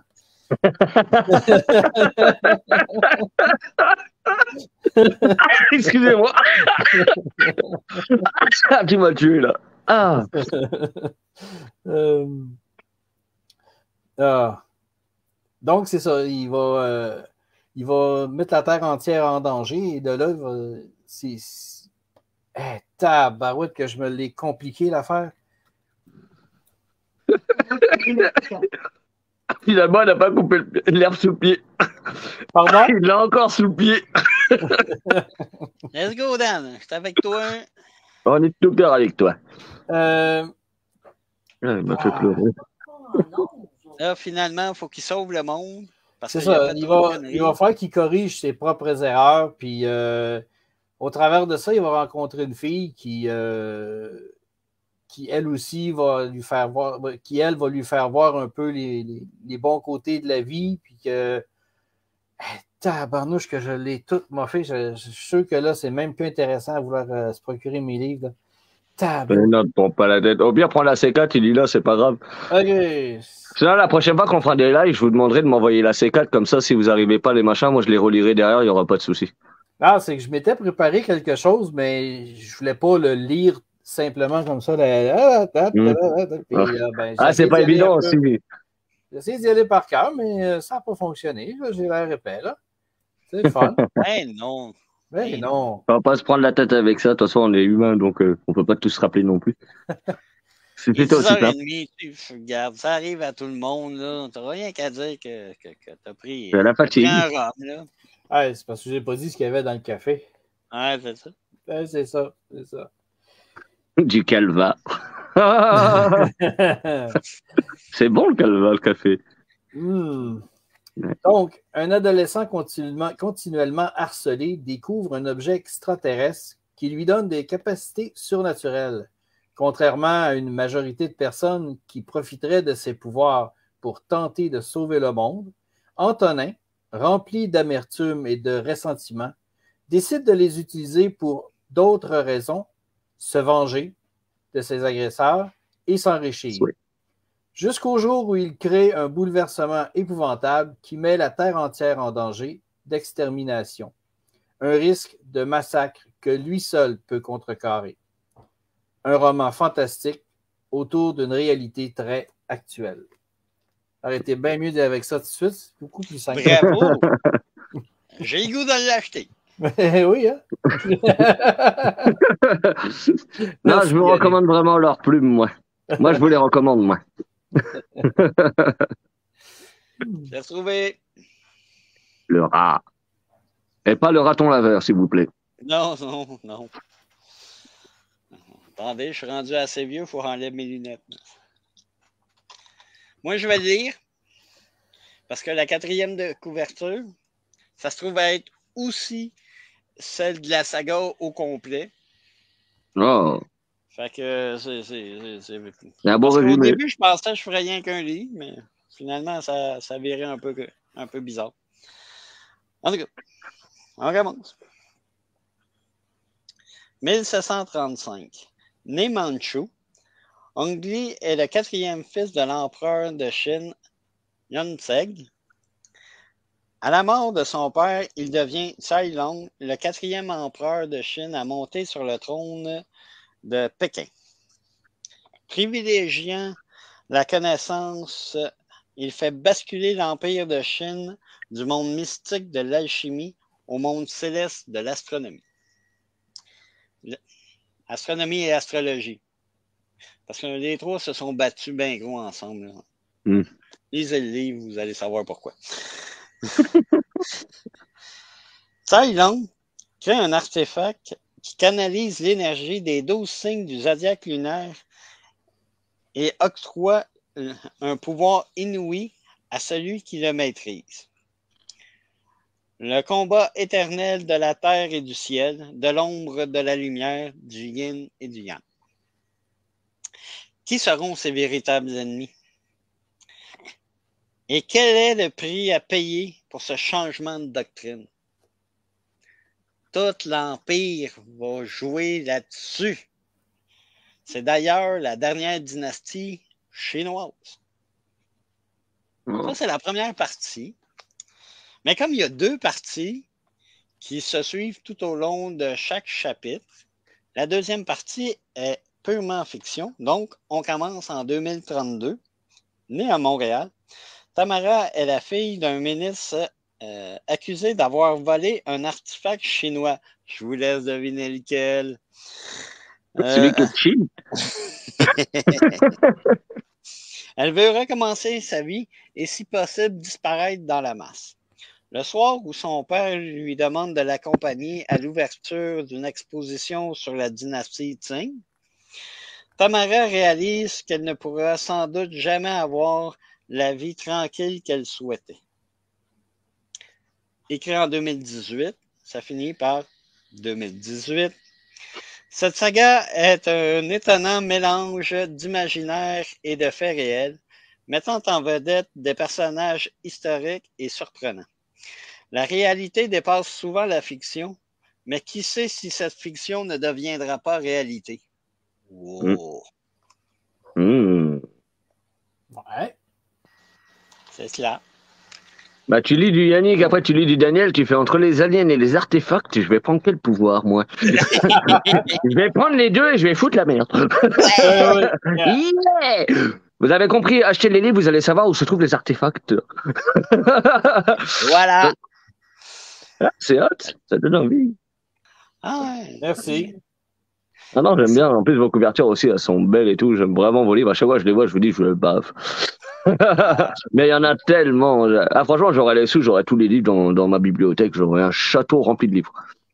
Ah, définitivement. Puis Euh, déjà là, euh, je regarde la bibliothèque, puis je me demande comment je vais faire pour réussir à tout lire. Ouais. Euh, tu te dis, oui, il faut, faut lire pour, pour s'améliorer en vocabulaire, pour euh, tout ça, pour le plaisir de lire, parce Ouais. que c'est fort plaisant. Euh, puis qu'il y a des styles différents, des styles qu'on croyait peut-être pas qu'on pourrait faire ou qu'on aimerait faire, puis finalement tu te dis Ah, ben peut-être que j'essayerais ça, ou tu sais, à un moment donné, pour un, un défi, j'essayerais un autre style différent, puis des fois, comme L.com que j'ai lu de Patrick Sénécal. Patrick Sénécal, j'entendais beaucoup de choses de lui, mais j'avais jamais lu. Quand j'ai lu L.com, moi qui viens de l'informatique énormément, puis qui sait à quel point ça, il est tellement pas loin de la réalité. Mm. À vrai dire, il est peut-être un peu en deçà de la réalité, mais en tout cas, bref. Euh, sais, tu te dis, ouais, il y a, il y a beaucoup de choses euh, surprenantes, puis il y a beaucoup de choses qui ont été écrites qu'on appelait de la science-fiction et maintenant c'est de la- de l'actualité. Mm. Fait que c'est c'est- trop le fun. On n'est pas encore sur des Star Wars, mais dans quelques années, ça va pas être si impossible que ça. Hein. Parce que Ah, quand tu vois la technologie qu'ils font et les choses qu'ils font derrière, tu fais ah ouais quand même. Hein. ah non, Moi, je suis, je tombé sur un documentaire, un vieux documentaire euh, pour la Russie justement. Euh, pendant la Seconde Guerre mondiale, ils avaient réussi à créer des espèces d'armures à la Iron Man, mais des armures qui sont plus haut que des tanks. T'as encore, euh, tu vois des vestiges, ils te montrent des vestiges où t'as encore les anciennes armures qui sont dessus, c'est limite comme des robots à la Goldorak là. Bon, c'est pas aussi grand, mais quand même quoi. Tu dis si on avait ça encore aujourd'hui, vous dire que le monde serait pas comme ça. Déjà qu'ils ont des gens en vogue de faire des armures à la Iron Man pour les euh, pour les soldats. mais je me demande juste pourquoi il y a encore autant de guerres. Parce que l'homme est stupide. Façon de parler. C'est, euh, il préfère la facilité. Tu sais, si t'enlèves l'argent, t'enlèves euh, les armes, il y en a beaucoup qui vont pleurer. Parce qu'on est trop habitué à ça, ils aiment bien répéter les mêmes choses. T'enlèves les armes, t'enlèves le pognon. Les gens, ils peuvent pas faire grand chose. Non, non, c'est clair. T'en- T'enlèves la notion de valeur ou, ou- Bah, tu ferais une seule nation où tout le monde pourrait manger. euh, bah, du moins, tout ce qui est vraiment vital serait gratuit. Le reste, bah, il serait, tu travaillerais, tu aurais des crédits sur une carte où tu pourrais, qui te permettrait de voyager ou de faire les machins. Mais les trucs essentiels devraient être. euh, ça serait pareil. Les gens, au début, ça, ça ferait la guerre, nanani, nananer, et après, ça ferait. euh, ça serait terrible, ça. Ah, c'est justement, c'est, mais justement, c'est ce qui est le truc qui serait le plus humain, c'est qu'il y aurait un gouvernement et que tout le monde ait les mêmes valeurs. Mais ça, c'est beau de rêver, quoi. Non, ça serait terrible parce que ça serait l'équivalent de, de créer une, une dictature. Oh, ah, moi, je le voyais pas comme ça. Ben, si t'as rien qu'un gouvernement qui décide de tout, Bah non, mais un gouvernement avec euh, un de chaque pays à la tête. Du moment pays. Ah, t'as plus de un si- t'as pays. Bah non, mais si le monde se rassemble pour faire un gouvernement ensemble, normalement ils sont censés s'entraider, pas s'entretuer. Mais À bon, c'est pas, c'est pas que. beaucoup? Non, non, Eh, non, non, non. Ils préfèrent faire pampan cucu et hop, Ah non, touche mais pipi. Moi, c'est ce que j'appelle ça, moi, des touches pipi, moi. Idéalement, c'est d'avoir trouvé un artefact, on a le pouvoir absolu, puis on règle ça d'un coup shot. C'était aussi simple. On, Non, mais enfin, on est habitué à notre monde. idéalement, ça serait qu'on ait, qu'on réussisse à enlever la notion de, de, Hmm. de pouvoir. Que Tout le monde est, euh, soit équitable. Euh, soit vraiment égaux. C'est c'est un nouveau livre de fiction que tu es en train d'écrire. Oui, ça s'appelle C'est ce que j'allais dire. C'est pas 12 tomes, là. Hein. Attends, là, on porte 300, 400 tomes minimum. Et après, je pense qu'on peut prendre ta relève et continuer les tomes. Ah, On va t'appeler le HP Lovecraftien du Québec. oh Ah, moi, on m'appellerait HP Lovecraft, je serais content. Ah ouais, non, mais je me fais connaître après ma mort, c'est pas grave. C'est pas grave. Au moins, les gens, j'aurais, j'aurais réussi à faire quelque chose. Déjà, je t'ai fait voyager. Mais d'a- d'ailleurs, Daniel, tu as commencé à écrire pourquoi? Qu'est-ce qui t'a amené à écrire? Ah, bon, Yann de Colin. Ou pour quelle raison t'écris? Juste pour le plaisir, pour les autres, pour... euh, C'était d'abord pour euh, le plaisir, comme tu disais tantôt, pour moi-même, là, pour. euh, puis je dirais même qu'au début, je pensais même pas me rendre à publier un livre. OK? Parce que tantôt, je ne l'ai pas mentionné, mais avant de travailler dans une usine, j'étais camionneur. Hmm. J'étais camionneur pendant 12 ans. Assis au volant de mon camion à écouter la radio, j'avais pas mal de temps de faire fonctionner mon imagination. Et puis, euh, je, me, suis- je me suis créé plein d'histoires, puis euh, je me suis dit, pourquoi pas les écrire? Puis, sans penser de, de- de- d'en faire un livre que- qui serait publiable, par contre. Et puis, euh, par la suite, ben, il est arrivé euh, des films, parce que moi, je, je lis très, très, très, très peu. Il est arrivé des films du genre euh, Harry Potter, Twilight, qui ont, qui ont envahi les écrans et que, comme je lisais pas, je savais pas, c'était tout basé sur des, sur des livres, sur des romans. J'ai fait Ah, ouais. Ah. OK. Ben, pourquoi que mes, mes, mes écrits qui sont dans ma tête des films, pourquoi que je les écrirais pas, puis essayer de publier? On sait pas. On sait jamais. Mais ça a resté comme ça. Ça a pris du temps avant que ça progresse et que j'arrive à un livre. J'ai écrit, j'ai écrit d'autres livres avant Darkbone. D'autres histoires, comme tantôt j'ai dit, là, que mon, mon, roman policier qui, euh, qui est euh, très mal écrit quand je le relis. Là. Euh, donc, c'est comme ça que ça a commencé. Puis là, quand j'ai écrit Darkbone, ma femme elle l'a lu parce que c'est elle qui a, lu mes, qui, a lu mes premiers, mes, premiers jets. Puis là, quand elle a lu celui-là, elle dit si jamais tu décides de, de voir publier, c'est lui, faut- c'est avec lui, faut que tu commences. Hmm.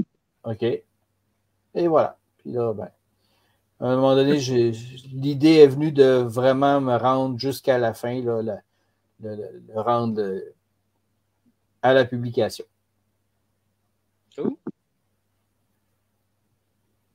Ça. D'ailleurs, qu'est-ce qui vous a le plus surpris depuis que vous écrivez? Euh, très clairement, d'avoir fini d'écrire le- au moins un livre. Euh, je remets un peu en contexte. J'ai commencé à faire de la programmation à, à- à 10 ans. Je dois avoir, bon, sans me casser la tête, là, facilement une soixantaine de programmes commencés. Quand même. C'est rien que valeur que j'en ai pas fini un. Ouais. Euh, j'ai commencé beaucoup de choses. J'ai terminé peu de choses. Puis, honnêtement, quand j'ai annoncé à ma famille que j'allais, que je me lançais dans l'écriture d'un d'un roman, ben déjà en partant, ça devait être le, le jeu vidéo. Puis quand j'ai commencé à écrire le scénario du jeu vidéo, c'est devenu le roman parce qu'il y avait trop de pages pour être rien que le scénario du jeu vidéo. Euh, J'étais rendu, je pense, à, à 200 pages de, de scénario, puis j'étais pas encore rendu au moment où ce que le jeu commençait. là. Oh. dit, bon, ben, on va faire le roman, puis on verra. Que quand j'ai annoncé ça à ma famille, ben, la, la- de un, ma soeur Christine, qui est un peu mon inspiration euh, littéraire ou. euh, Ma soeur Christine, c'est une fille qui lit énormément. C'est une femme super brillante. Puis elle a toujours voulu euh, écrire, puis s'en aller là-dedans, mais elle est super forte aussi en statistique, en logique statistique. Fait que finalement, elle a comme mis ça de côté, la littérature, pour s'en aller plus en, en statistique, pour des raisons économiques, pour des raisons euh, de circonstances, puis whatever. Mais moi, j'ai toujours cru que ma sœur allait écrire. Puis finalement, c'est pas ça qui est arrivé. Fait que euh, quand j'ai commencé à écrire, je pensais pas être capable d'écrire. Puis honnêtement, ma soeur m'a clairement fait. Elle n'était pas plus. Euh, elle croyait pas plus que j'allais finir que ça. euh, c'est ma mère qui a été vraiment la première à, me dire ben garde, si tu veux le faire, vas-y, je vais t'aider du mieux que je vais pouvoir. Euh, ma deuxième sœur, le lendemain que j'ai dit que je commençais à écrire, elle m'a dit Ah, c'est une bonne idée. Mais le lendemain, elle m'a envoyé un courriel m'indiquant qu'il y a 1% de 1% des auteurs qui réussissent à vivre de ça. Donc, euh, tu sais, l'encouragement total. là. Ouais. J'avais pas Mais- d'idée, quoi. Bam! Lâche pas le grand, tu vas être pauvre, bien comme il faut. Mais bref, euh, dans le fond, c'est qu'il avait peur. euh, euh, je comprends qu'il avait peur pour moi, puis qu'il avait peur que je voyais ça de façon trop utopique, euh, trop euh, en rêverie. Parce Bah, que voulait pas que tu tombes de ton piédestal, quoi. Ouais, non, c'est ça. parler. Mais, mais ce qu'il savait pas, c'est que j'avais vraiment fait de grosses démarches, puis beaucoup de recherches, puis je savais dans quoi je m'embarquais pour vrai. Là. Euh, je, je suis plus nécessairement le, le petit frère, le dernier né, là, fait que c'est un peu différent. Là. Fait que, bref, euh, c'est pour ça que ce qui, qui, ce qui m'épate le plus, honnêtement, c'est vraiment tout le travail qu'il y a en arrière, tout euh, euh, d'avoir fini par l'écrire, de l'avoir présenté, de l'avoir fait publier. Euh, c'est, vraiment une des choses qui m'épate le plus, qui, qui me surprend puis pas parce que je, je sais très bien que j'ai la compétence. Mais quand je suis allé pour le faire publier, rien que voir les maisons d'édition dire OK, t'as jamais écrit, tu veux faire 12 tomes, puis t'es sûr que tu vas avoir assez d'imagination pour faire 12 tomes, bang de même. Là. T'es certain de ça, toi. Là. Fait que juste voir leur figure, c'est sûr que moi, dans ma tête, ça disait oui, mais vous me connaissez pas. Fait que vous Mhm. savez pas que oui, j'ai cette capacité-là.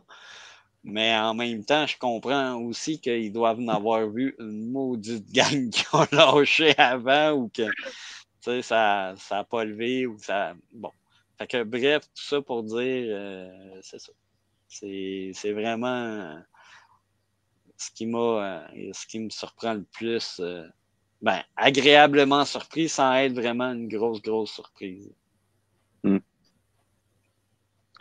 Pas évident avec les décisions, mais j'imagine leur tête de dire ça et tout. Moi, je me ferais la même question, mais tu me connais pas.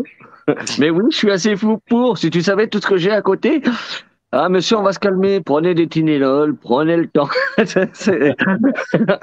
Mais euh, des fois, moi, je me dis, faut avoir le culot aussi, aussi de dire, euh, ouais, tiens, moi, je peux te sortir ça. Ils vont dire, ouais, mais, ouais, mais attends, je vais te le prouver. Regarde, dis-moi oui, tu vas voir dans quelques mois, tu vas voir ce que ça va donner. Ils vont arriver, ils vont te regarder, ils vont faire pardon. Moi, je sais que l'audace, ça m'a beaucoup sauvé euh, en France quand j'étais à la rue et tout. J'ai souvent joué de l'audace justement pour pouvoir manger un peu. Donc j'allais les voir, je leur disais euh, voilà, euh, moi je peux faire un peu de plonge, tu vois ce que ça donne. Euh, Moi tout ce que je te demande, c'est qu'à la fin je puisse manger ou quoi que ce soit.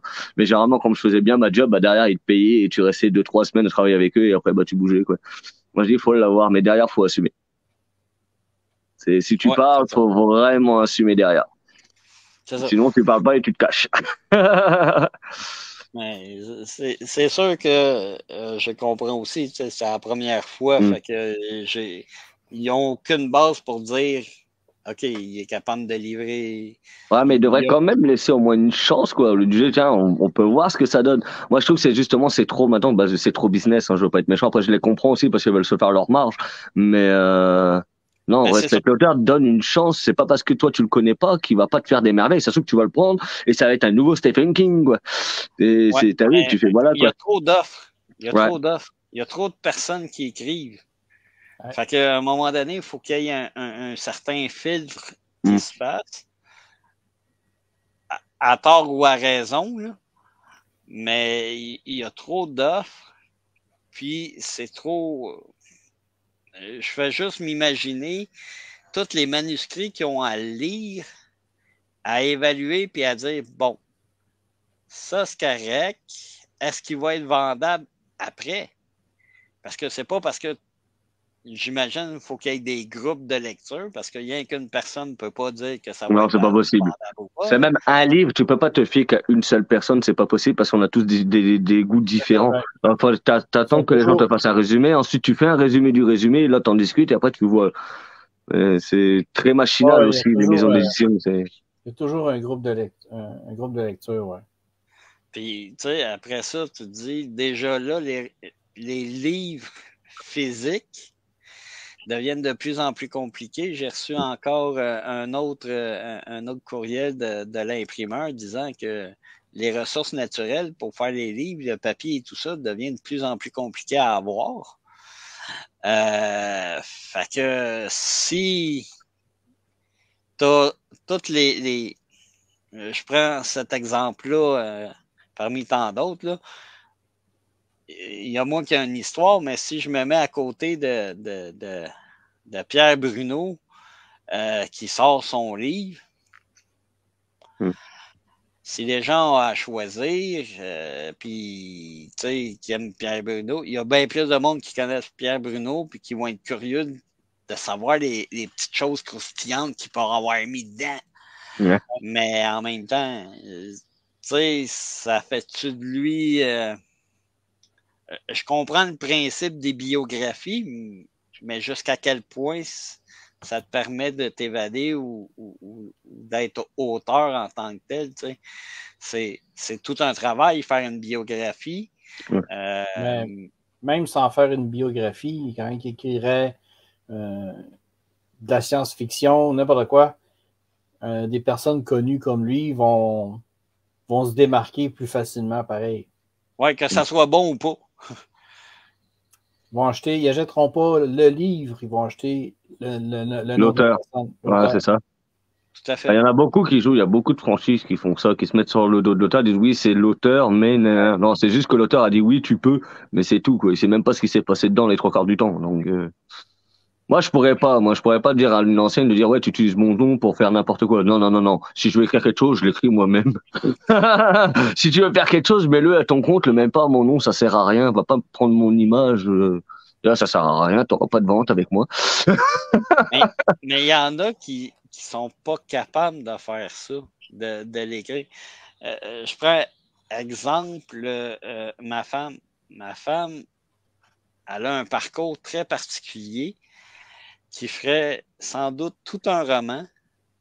Mais ma femme, elle, en tant que personne, euh, elle a énormément de difficultés à visualiser les choses. Hmm. Fait que, elle lit un livre, là, elle n'est pas capable de se faire un film de ce qui se passe dans le livre. Elle voit rien, rien, rien. Elle voit que des mots. Oh. Fait qu'elle arrive, elle dit J'ai de la misère à lire au- au- énormément parce que Hmm. euh, je peux pas embarquer dans l'histoire. Tout ce que je vois, c'est des mots. Je vois, je vois à peu près pas d'images. euh, Il n'y a rien qui se passe. là. Ah ben, Fait que, mais c'est un- c'est une femme qui est très, qui est plus axée scientifique, plus axée sur la santé. Fait que, elle va te lire des rapports, des, des, euh, des datas, des données sur des, des, des analyses scientifiques. Ça, elle peut faire l'analogie de ça, elle peut faire la synthèse de ça. Mais une histoire inventée ou, ou tout ça, Hmm. c'est hyper compliqué pour elle. ah ben, Fait que, ben, moi, j'ai de la misère à concevoir ça, point. Parce que, je veux dire, euh, tu, tu- tu me donnes les trois premiers mots du journal, puis je viens de faire le film de deux heures et demie. là. Mais c'est. En tout cas, on, on se complète bien, c'est pour ça que l'analogie du Lin et du Yann euh, reste toujours très, très formelle de, de ce côté-là. D'ailleurs, si vous avez un truc à améliorer dans le monde de la littérature, dans la globalité, ça serait quoi? Juste un truc à apporter qui pourrait... euh, une meilleure considération des, des auteurs québécois. Qu'est-ce que tu veux dire par là? Ben, je devrais plutôt ajouter des nouveaux auteurs québécois. OK. Parce que t'écris, Mm. Tu publies quelque chose et le, le monde littéraire se préoccupe pas trop. J'ai compris pourquoi ça. On m'a expliqué pourquoi. Ah oui? Ah, vas-y. C'est que tout se paye. OK. Que tu sois connu ou pas, tu veux participer à un événement littéraire, t'appelles là-bas, tu dis comment ça coûte, puis tu vas devenir l'auteur euh, le plus connu de la semaine. OK. C'est Ouais. un peu comme le principe des, euh, des best-sellers. Je, con- je connaissais pas ce principe-là. Mais un best-seller, ça veut pas dire que, que c'est un livre qui est très, euh, très populaire. C'est pas ça que ça veut dire. Ça le dit, c'est best-seller. Faut que tu en vendes un nombre. Hmm. Si je m'achète 20 000 de mes livres, j'ai un best-seller, mais personne ne l'a lu. Mhm. Parce que t'as quand même payé tes 20 000 livres, quoi. Oui. Mais les redevances me reviennent à moi. Fait qu'ils coûtent pas mal moins cher. Bah après, je veux pas être méchant, mais acheter 20 000 livres, ça coûte cher en cherchant ce que tu fais derrière, combien ils t'ont coûté. Oh, Tu dois aller revendre derrière, t'es pas sûr de vendre tes 20 000 livres, je veux te dire, tu vas te taper 15 000 livres pour de la hum, et tu dis, bah tiens, je vais faire du papier peint. Attends, attends, attends. Ouais. attends. On parle du Québec, là. J'ai dit 20 000 livres, mais un best-seller au Québec, c'est à peu Ah, près c'est- 3 000 livres. là. Ouais, c'est ça. Ah, je savais pas. Ouais. Oh, c'est vrai que c'est pas américain, hein. aux Américains, c'est par millions, eux. Hey, hey, hey. Nous autres, euh, quand tu as réussi à faire 3 000 livres, vendu 3 000 livres officiels, ben, regarde, tu sais. Bah, déjà, moi, je me dis, t'as vendu un livre dont sois content. tu sais. Je pensais que c'était plus proche de 5000, là, mais. Moi, je pensais que c'était plus aussi. Il me semble, la, la dernière fois que je l'ai entendu parler, c'était 3 000. Ah. Mais Oh. euh, ça doit dépendre aussi de qui c'est qui décide si t'es best-seller ou pas. Là. Euh, Ah, mais si tu tombes sur quelqu'un qui aime personne, t'es pas dans la merde. hein. Moi, si on, si on se dit que, que c'est 3000, comme tu dis, là, je Mhm. suis juste. Je m'en viens bien. Je Ah, ben. vais être best-seller bientôt. Moi, encore euh, 2700 ventes, puis je vais être correct. Oh, wow! mais ah, bravo quand même. Ouais, quand même, 300 livres, tu te dis waouh, euh, c'est hot. Surtout quand tu sais que t'es euh, édité ou auto-édité, tu dis ouais, t'as quand même vendu 300 livres, c'est énorme. Les gens, ils se rendent pas compte de ce que c'est. Ils pensent ouais, 300 livres, bah oui, mais c'est énorme, mon gars. C'est, nous, on s'appelle pas tous euh, Stephen Ah, King quand- ou je ne sais qui à vendre 3000 Ouais, livres la journée, quoi. Quand tu entends à la radio qu'une euh, une animatrice a publié un livre, puis euh, avant même qu'il soit sur les tablettes, puis il il était best-seller, euh, mettons que tu. Bah, tu te poses des questions. Ouais, Moi, je dis pas, il y en a, ils sont passés sous le bureau ou sur le bureau. Ça dépend Ah, ben- du point d'optique. Ben, pas nécessairement, mais comme je te dis, j'en connais des auteurs qui sont devenus best-sellers parce qu'ils ont acheté les derniers livres qu'ils avaient besoin pour, pour faire ça, puis après ça, ils les revendent. ouais, ouais, ouais, je comprends le principe. mais... C'est. Tu sais, cette notion-là, je trouve que c'est un peu, c'est un peu Mm. plate. Puis oui, d'abord, euh, je suis d'accord avec toi, Da- Daniel. Il faudrait qu'il y ait plus de visibilité aux nouveaux auteurs. Mais en même temps, tu sais, le, le. Comment ça s'appelle? Le je sais plus trop quoi des arts du Canada. là. Le Conseil des arts du Canada. Ceux qui donnent des, des prêts et bourses là, Mhm. pour euh, les nouveaux auteurs. Moi, j'ai de la misère à concevoir qu'un nouvel, aute- un, un nouvel auteur, faut qu'il y ait trois, deux à trois romans de sortie.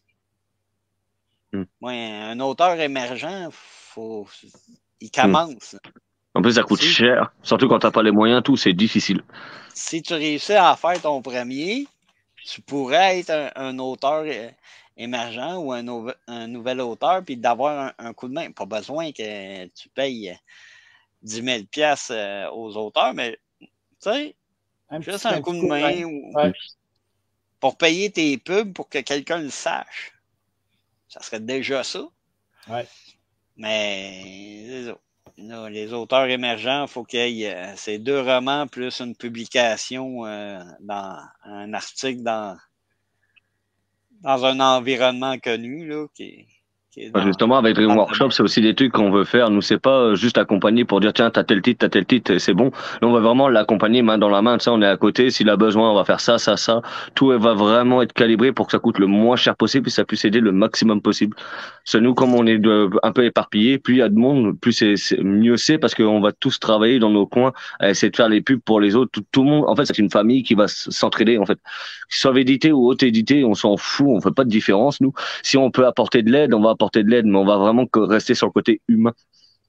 Là, Ben, Oui. Honnêtement, je dois avouer que euh, j'utilise pas assez, mais le- euh, les services de l'UNEC, euh, l'Union des écrivains écrivaines du Québec, Québec.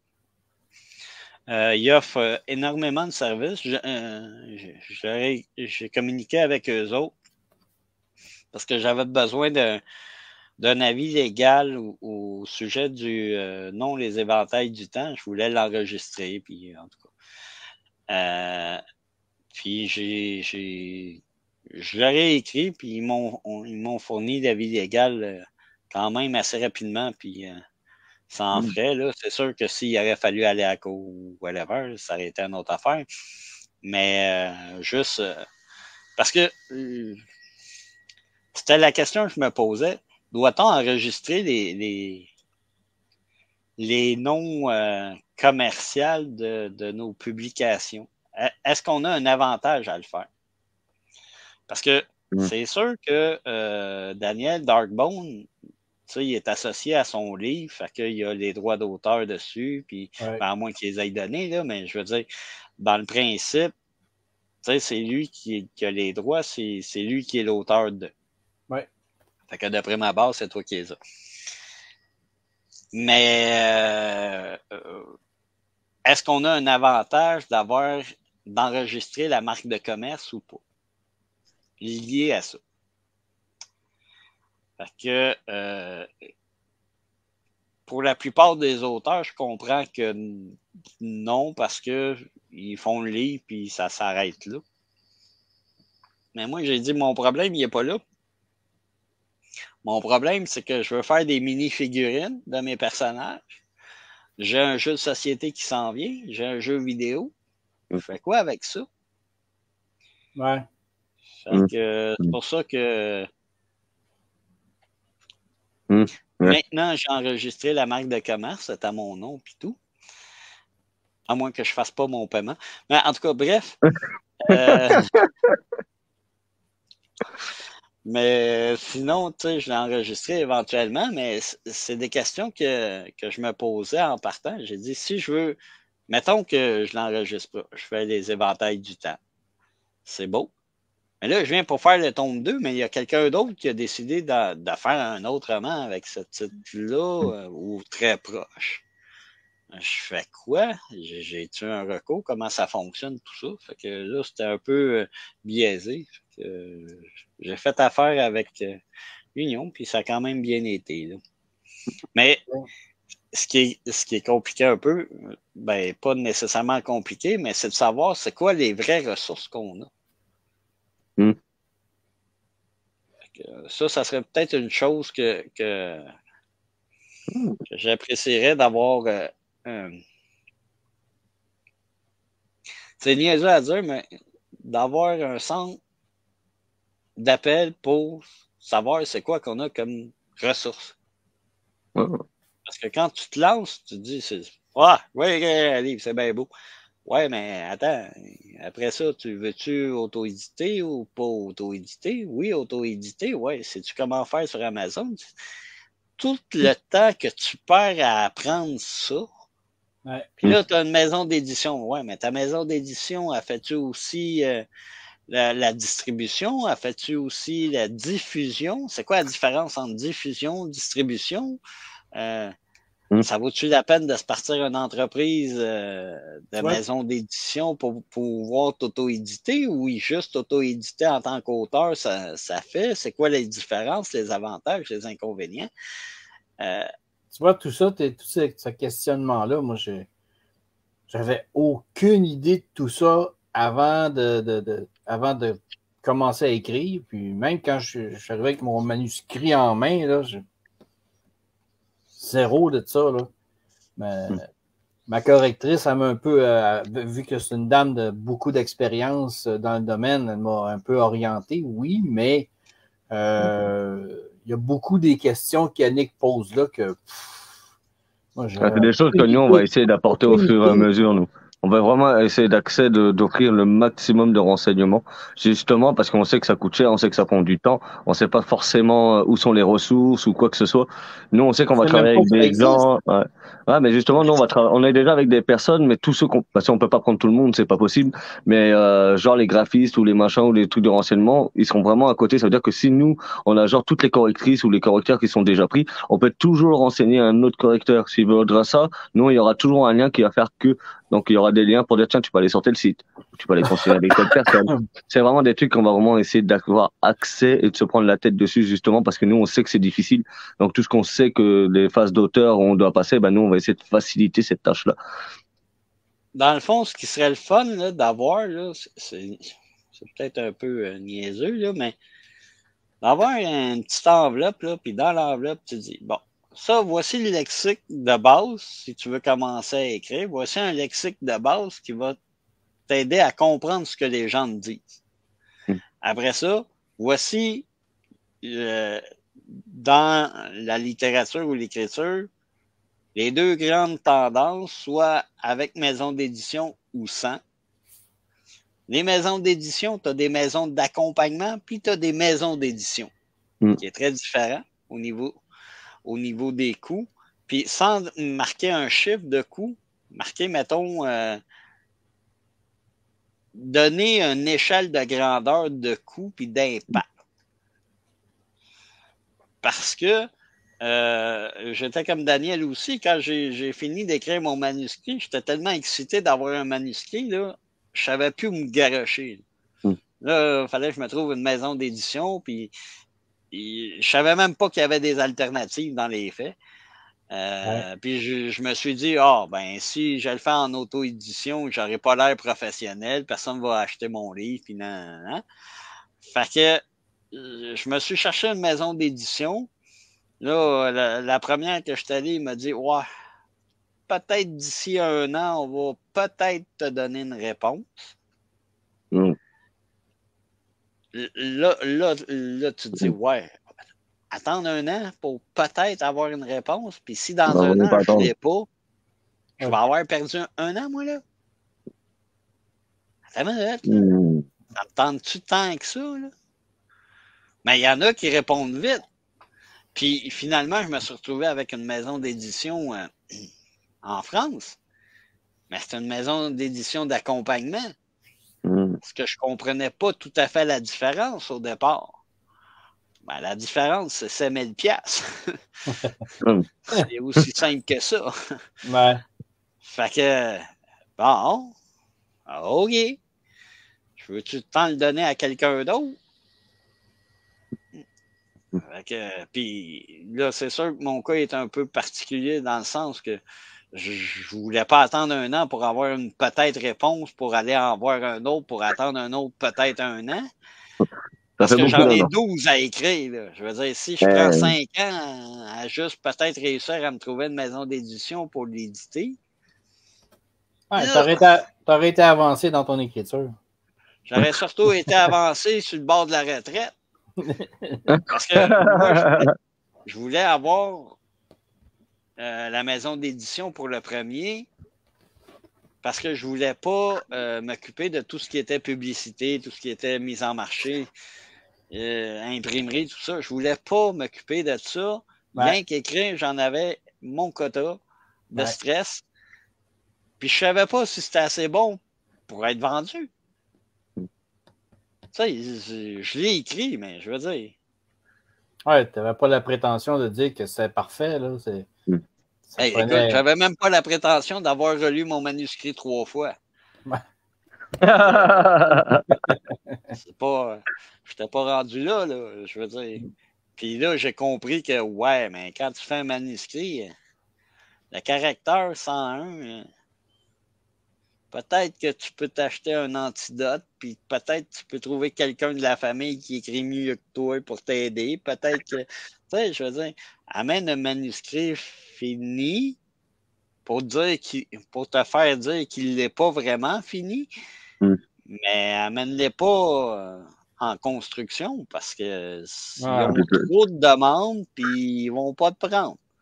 Quand bien même que l'idée est intéressante, Ouais, faut- puis, il faut pas que tu aies. Dans ton cas, ça, ça s'appliquerait peut-être pas, là, mais il faut pas que tu aies une histoire qui est trop similaire, euh, trop proche dans le sujet de celle d'un autre auteur qui publie déjà parce que Ouais, ils ne te prendront pas, tu vas être en compétition avec l'autre. Ouais. C'est un fait.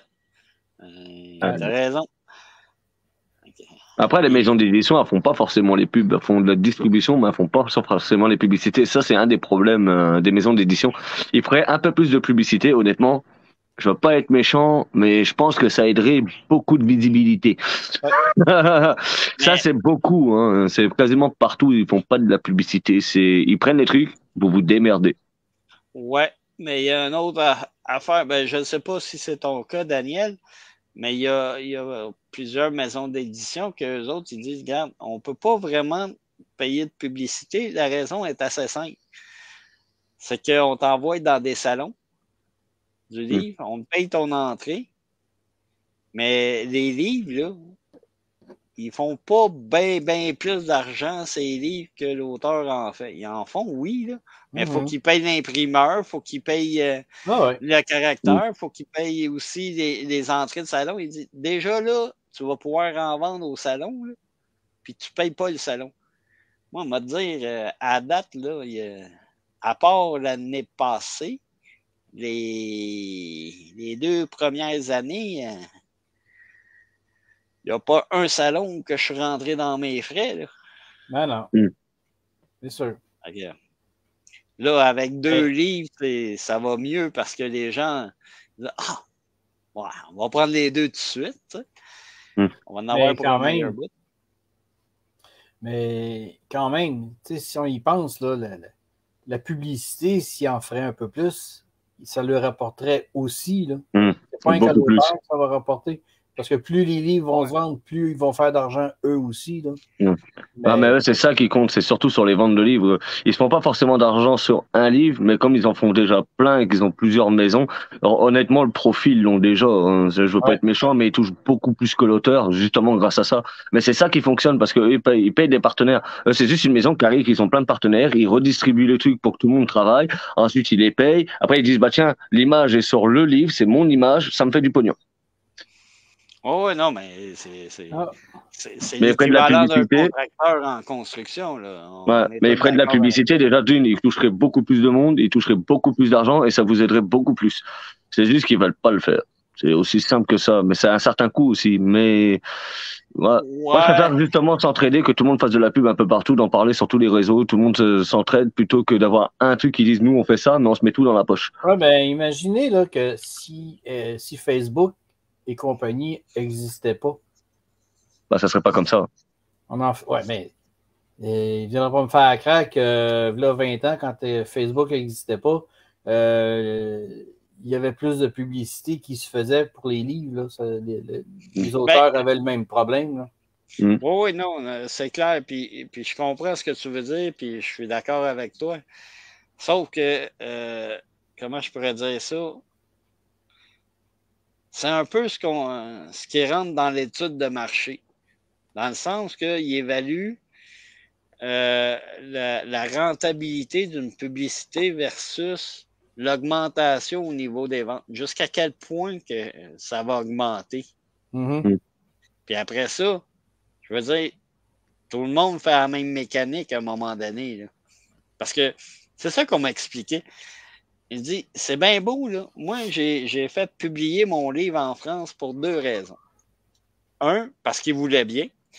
Puis deux, euh, parce que je me suis dit, ben, si j'en vends au Québec, en France, en Belgique, en Suisse, plus de Mm. chances de faire des ventes. Ouais. Ben, j'en ai vendu bien plus au Québec euh, dans ma famille que j'en ai vendu en Europe. Ouais. Parce que Ah, c'est très difficile en Europe. Ben, c'est parce que plus de lecteurs signifie aussi plus d'auteurs. Donc, plus de livres, plus de choix. Donc, moins d'argent par livre. Ouais. Mais en Europe, c'est plus souvent les euh, américanisés ou euh, anglais, les trucs extérieurs du pays. Généralement, quand tu es dans un pays, faut mieux te faire connaître à l'extérieur du pays.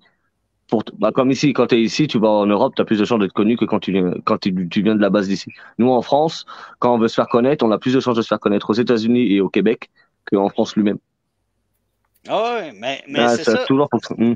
C'est ça, que je pensais. J'ai dit, je vais aller là-bas, je vais me faire publier là-bas, je vais, je vais passer pour un, un importé. Puis, euh, écoute, ça va être. euh, hey, écoute, ça va couler comme de l'eau, l'argent. là. Ouais, non, yes, non. nif, ouf, nif. Euh, Ça n'a pas été tout à fait comme ça. ça coule, oui, mais dans l'autre sens. Moi, c'est un Mm. peu ça. Fait que euh, je ne sais pas jusqu'à quel point ou, ou surtout quel genre de publicité qui pourrait t'amener à avoir vraiment plus de ventes. Parce qu'il y en a des, des, des pubs qui passent. Mm.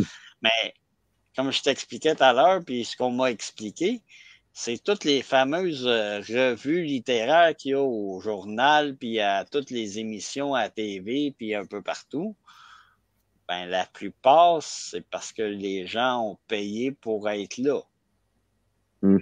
Fait que, ils ont une quantité limitée d'espace-temps qui coûte tant. Mm. Puis la maison d'édition arrive à dire Ouais, écoute, euh, j'ai 5-6 livres à, à plugger dans la même pub, puis la pub va durer à peu près deux minutes.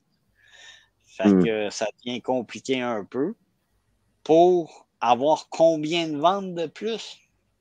Ah, T'as plus de vues que de ventes. Moi, je le vois aussi, c'est avec le, le truc de Facebook. Toi, t'as le machin où tu dois, tu peux payer pour euh, attirer le plus de clientèle. Genre, bah, c'est le truc des réseaux sociaux, c'est ce qui fonctionne le plus. Mais à part avoir des vues, je veux pas être méchant, mais ça apporte strictement rien. C'est comme si, en fait, tu payais juste du vue. Tu dis, tiens, j'ai payé 20 balles pour avoir 1000 vues, mais 1000 vues, 100 000 vues, il y a combien qui vont venir te voir pour prendre ton livre ou combien vont aller voir l'auteur pour machin? Il y en a quasiment pas. Ah, j'ai, j'ai, vécu ça au début, moi. euh, Quand j'ai commencé avec mon premier tome, ben, euh, vous pouvez booster pour pas cher, puis ah ouais, ok, hein, ah ouais, je vais, ah je vais couvrir le Québec, ah ouais, j'en, j'en veux plus, ah ouais, ouais, par- En fait, tu te dépenses dans le, dans le vent pour rien. c'est, tout sinon, il faut que tu aies 10 000 membres sur ton groupe pour avoir débloqué toutes les options Facebook. 10 000 membres. Ouais, c'est ça. Bah, Euh, YouTube, c'est pareil. Je crois que même Instagram, tu as un certain nombre de, de vues qu'il faut que tu sois suivi pour débloquer ton truc. C'est ce qu'ils font sur TikTok. Sur TikTok, il faut que tu regardes une vidéo, par une vidéo, par une vidéo, et tu gagnes du temps au fur et à mesure. Mais c'est bon pour la visibilité. Moi, j'atteins toujours 250 personnes minimum sur mes vidéos. Là, je mets juste un partage, je mets ma vidéo avec une musique, pas j'atteins 250 personnes, mais c'est pas pour autant que j'ai 250 personnes qui mènent tous les jours sur le groupe pour dire, ah, tiens, je vais aller voir tel auteur. ça offre juste de la visibilité. C'est, au lieu d'avoir 10 000 vues sur Facebook, bah, j'ai plusieurs vues sur plusieurs euh, trucs, parce que même sur YouTube, ça tourne mine de rien. C'est, je pensais pas que ça tournait comme ça, mais les gens, ils commencent à vraiment venir sur mon YouTube, c'est marrant. Tant mieux. Ouais. Ah, bah, j'ai 42 vidéos, je crois, sur, 32 ou 42 vidéos sur mon YouTube. Mais euh, la plupart, c'est que des lives. Parce que je trouve que c'est plus facile à partager. Je prends la vidéo. En fait, j'ai un programme pour télécharger la vidéo sur Facebook. Donc, je télécharge la vidéo, je la téléverse sur Facebook, euh, sur YouTube. Je mets euh, non destiné aux enfants. Parce qu'ils te mettent non destiné aux enfants, ils te mettent un autre choix en dessous.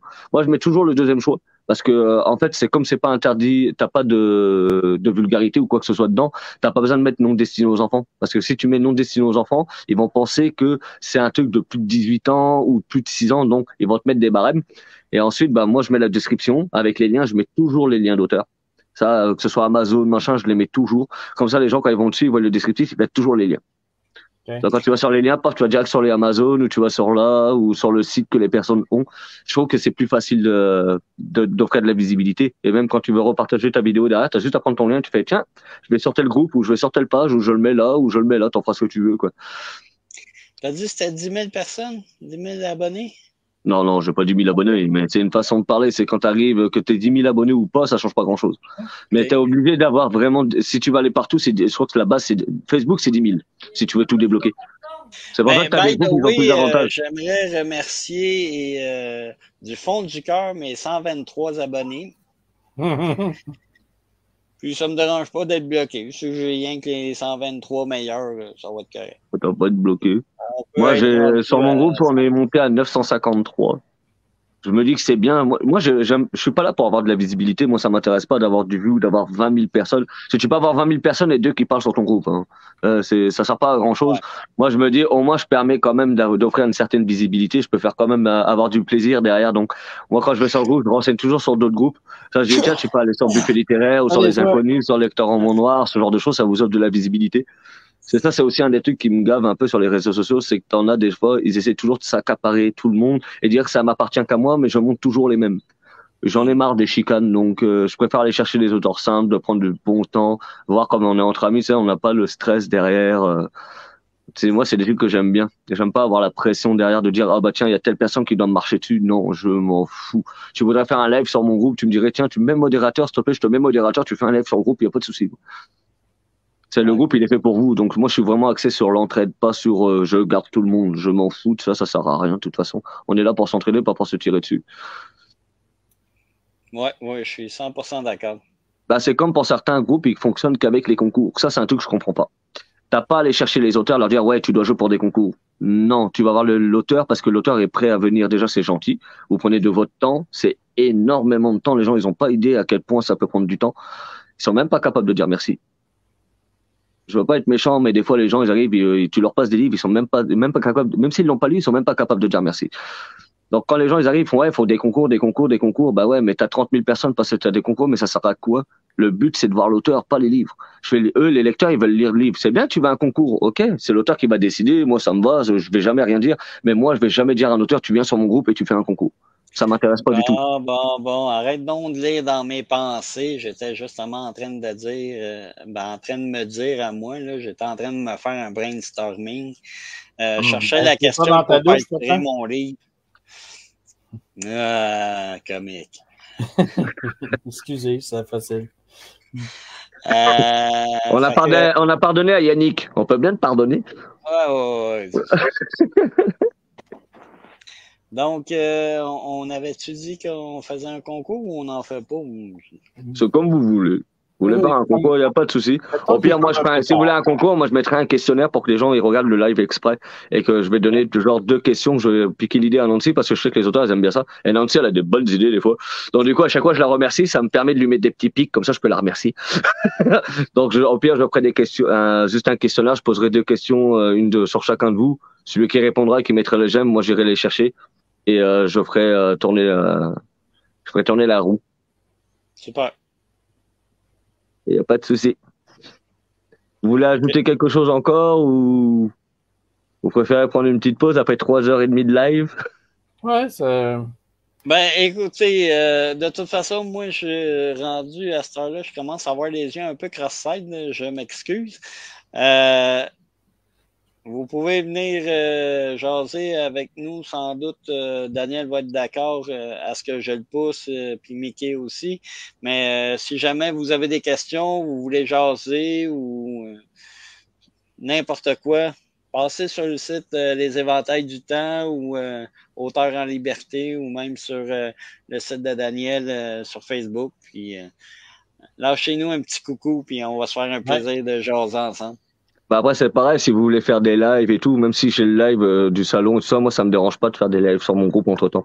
Ça, Si ça peut vous permettre à vous d'avoir d'autres visibilités ou même de juste de faire un truc pour qu'on parle entre nous, qu'on fasse interagir des lecteurs, il y a vraiment pas de souci. On peut s'organiser avec Genofa et... euh, il y a vraiment pas de souci, c'est avec plaisir. Même si vous, vous voulez faire des lives avec des auteurs que je connais pas ou que vous connaissez ou n'importe qui, dites-le moi, je vous mets administrateur du groupe et vous faites un live il n'y a pas de souci. C'est vraiment, j'ai marqué autant en liberté, c'est pas pour rien. hein. Moi, j'attends que ça, que les auteurs me disent, ah, bah, tiens, je vais être modérateur pour faire tes live, tes live. Si tu as besoin de moi, je serai là, bien entendu. Mais si vous n'avez pas besoin de moi, vous, vous pouvez faire des lives. Il y a juste à prévenir pour pas que les gens se marchent dessus. Mais euh, amusez-vous, quoi. C'est fait pour vous. Donc, euh, Excellent. Merci beaucoup Merci à tous beaucoup. ceux qui ont écouté. Oui. Merci Puis- beaucoup à tous ceux qui ont, qui ont eu la patience, là, trois heures et demie, c'est bien. là. c'est, je crois que c'est le plus long live que j'ai fait. Oui, hein? Ouais, d'habitude, ça tourne entre 2h30, 3h des fois. C'est le plus petit, je crois que j'ai fait, c'est 1h30. On n'a pas réussi à faire plus. euh, Ah non, le plus petit, c'est moins d'une heure parce qu'on n'avait pas beaucoup de monde. En fait, les gens n'avaient pas compris qu'il fallait cliquer sur le lien Zoom pour venir. Il y a eu quelques problèmes, donc euh, faudrait que je refasse un live avec euh, Jack Laurent Amar d'ailleurs.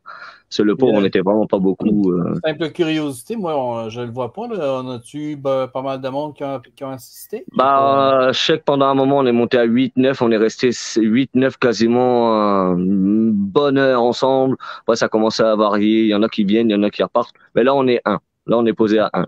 On vient juste d'arriver à 1 il y a pas longtemps. OK. Ben, merci le 1. Ouais, merci, Laurent. Très patient. Merci beaucoup. Ah, merci Allez, à vous, merci à tous. Et je vais vous laisser la fin de. la Ben, fin. on se revoit, Daniel, au salon. On se Oui. revoit euh, ceux qui seront là euh, le, le 30 avril ou sinon les autres dates, on les a euh, sur Facebook On ou sur les on a- sites web. Ouais. Mais n'hésitez pas, si vous voulez le mettre sur le groupe, euh, vos événements que vous voulez mettre ou quoi que ce soit, vous gênez pas sur mon groupe. hein. Même si vous avez des lives avec un autre groupe, vous pouvez leur demander l'accord, mais vous le mettez sur mon groupe, il n'y a pas de souci. Moi, je ne prive pas les groupes de publier euh, les lives et tout. Moi, je me dis que ça vous fait de la visibilité. OK. Excellent. Merci à vous deux. N'hésitez pas et euh, bah, à bientôt. À bientôt. Bye.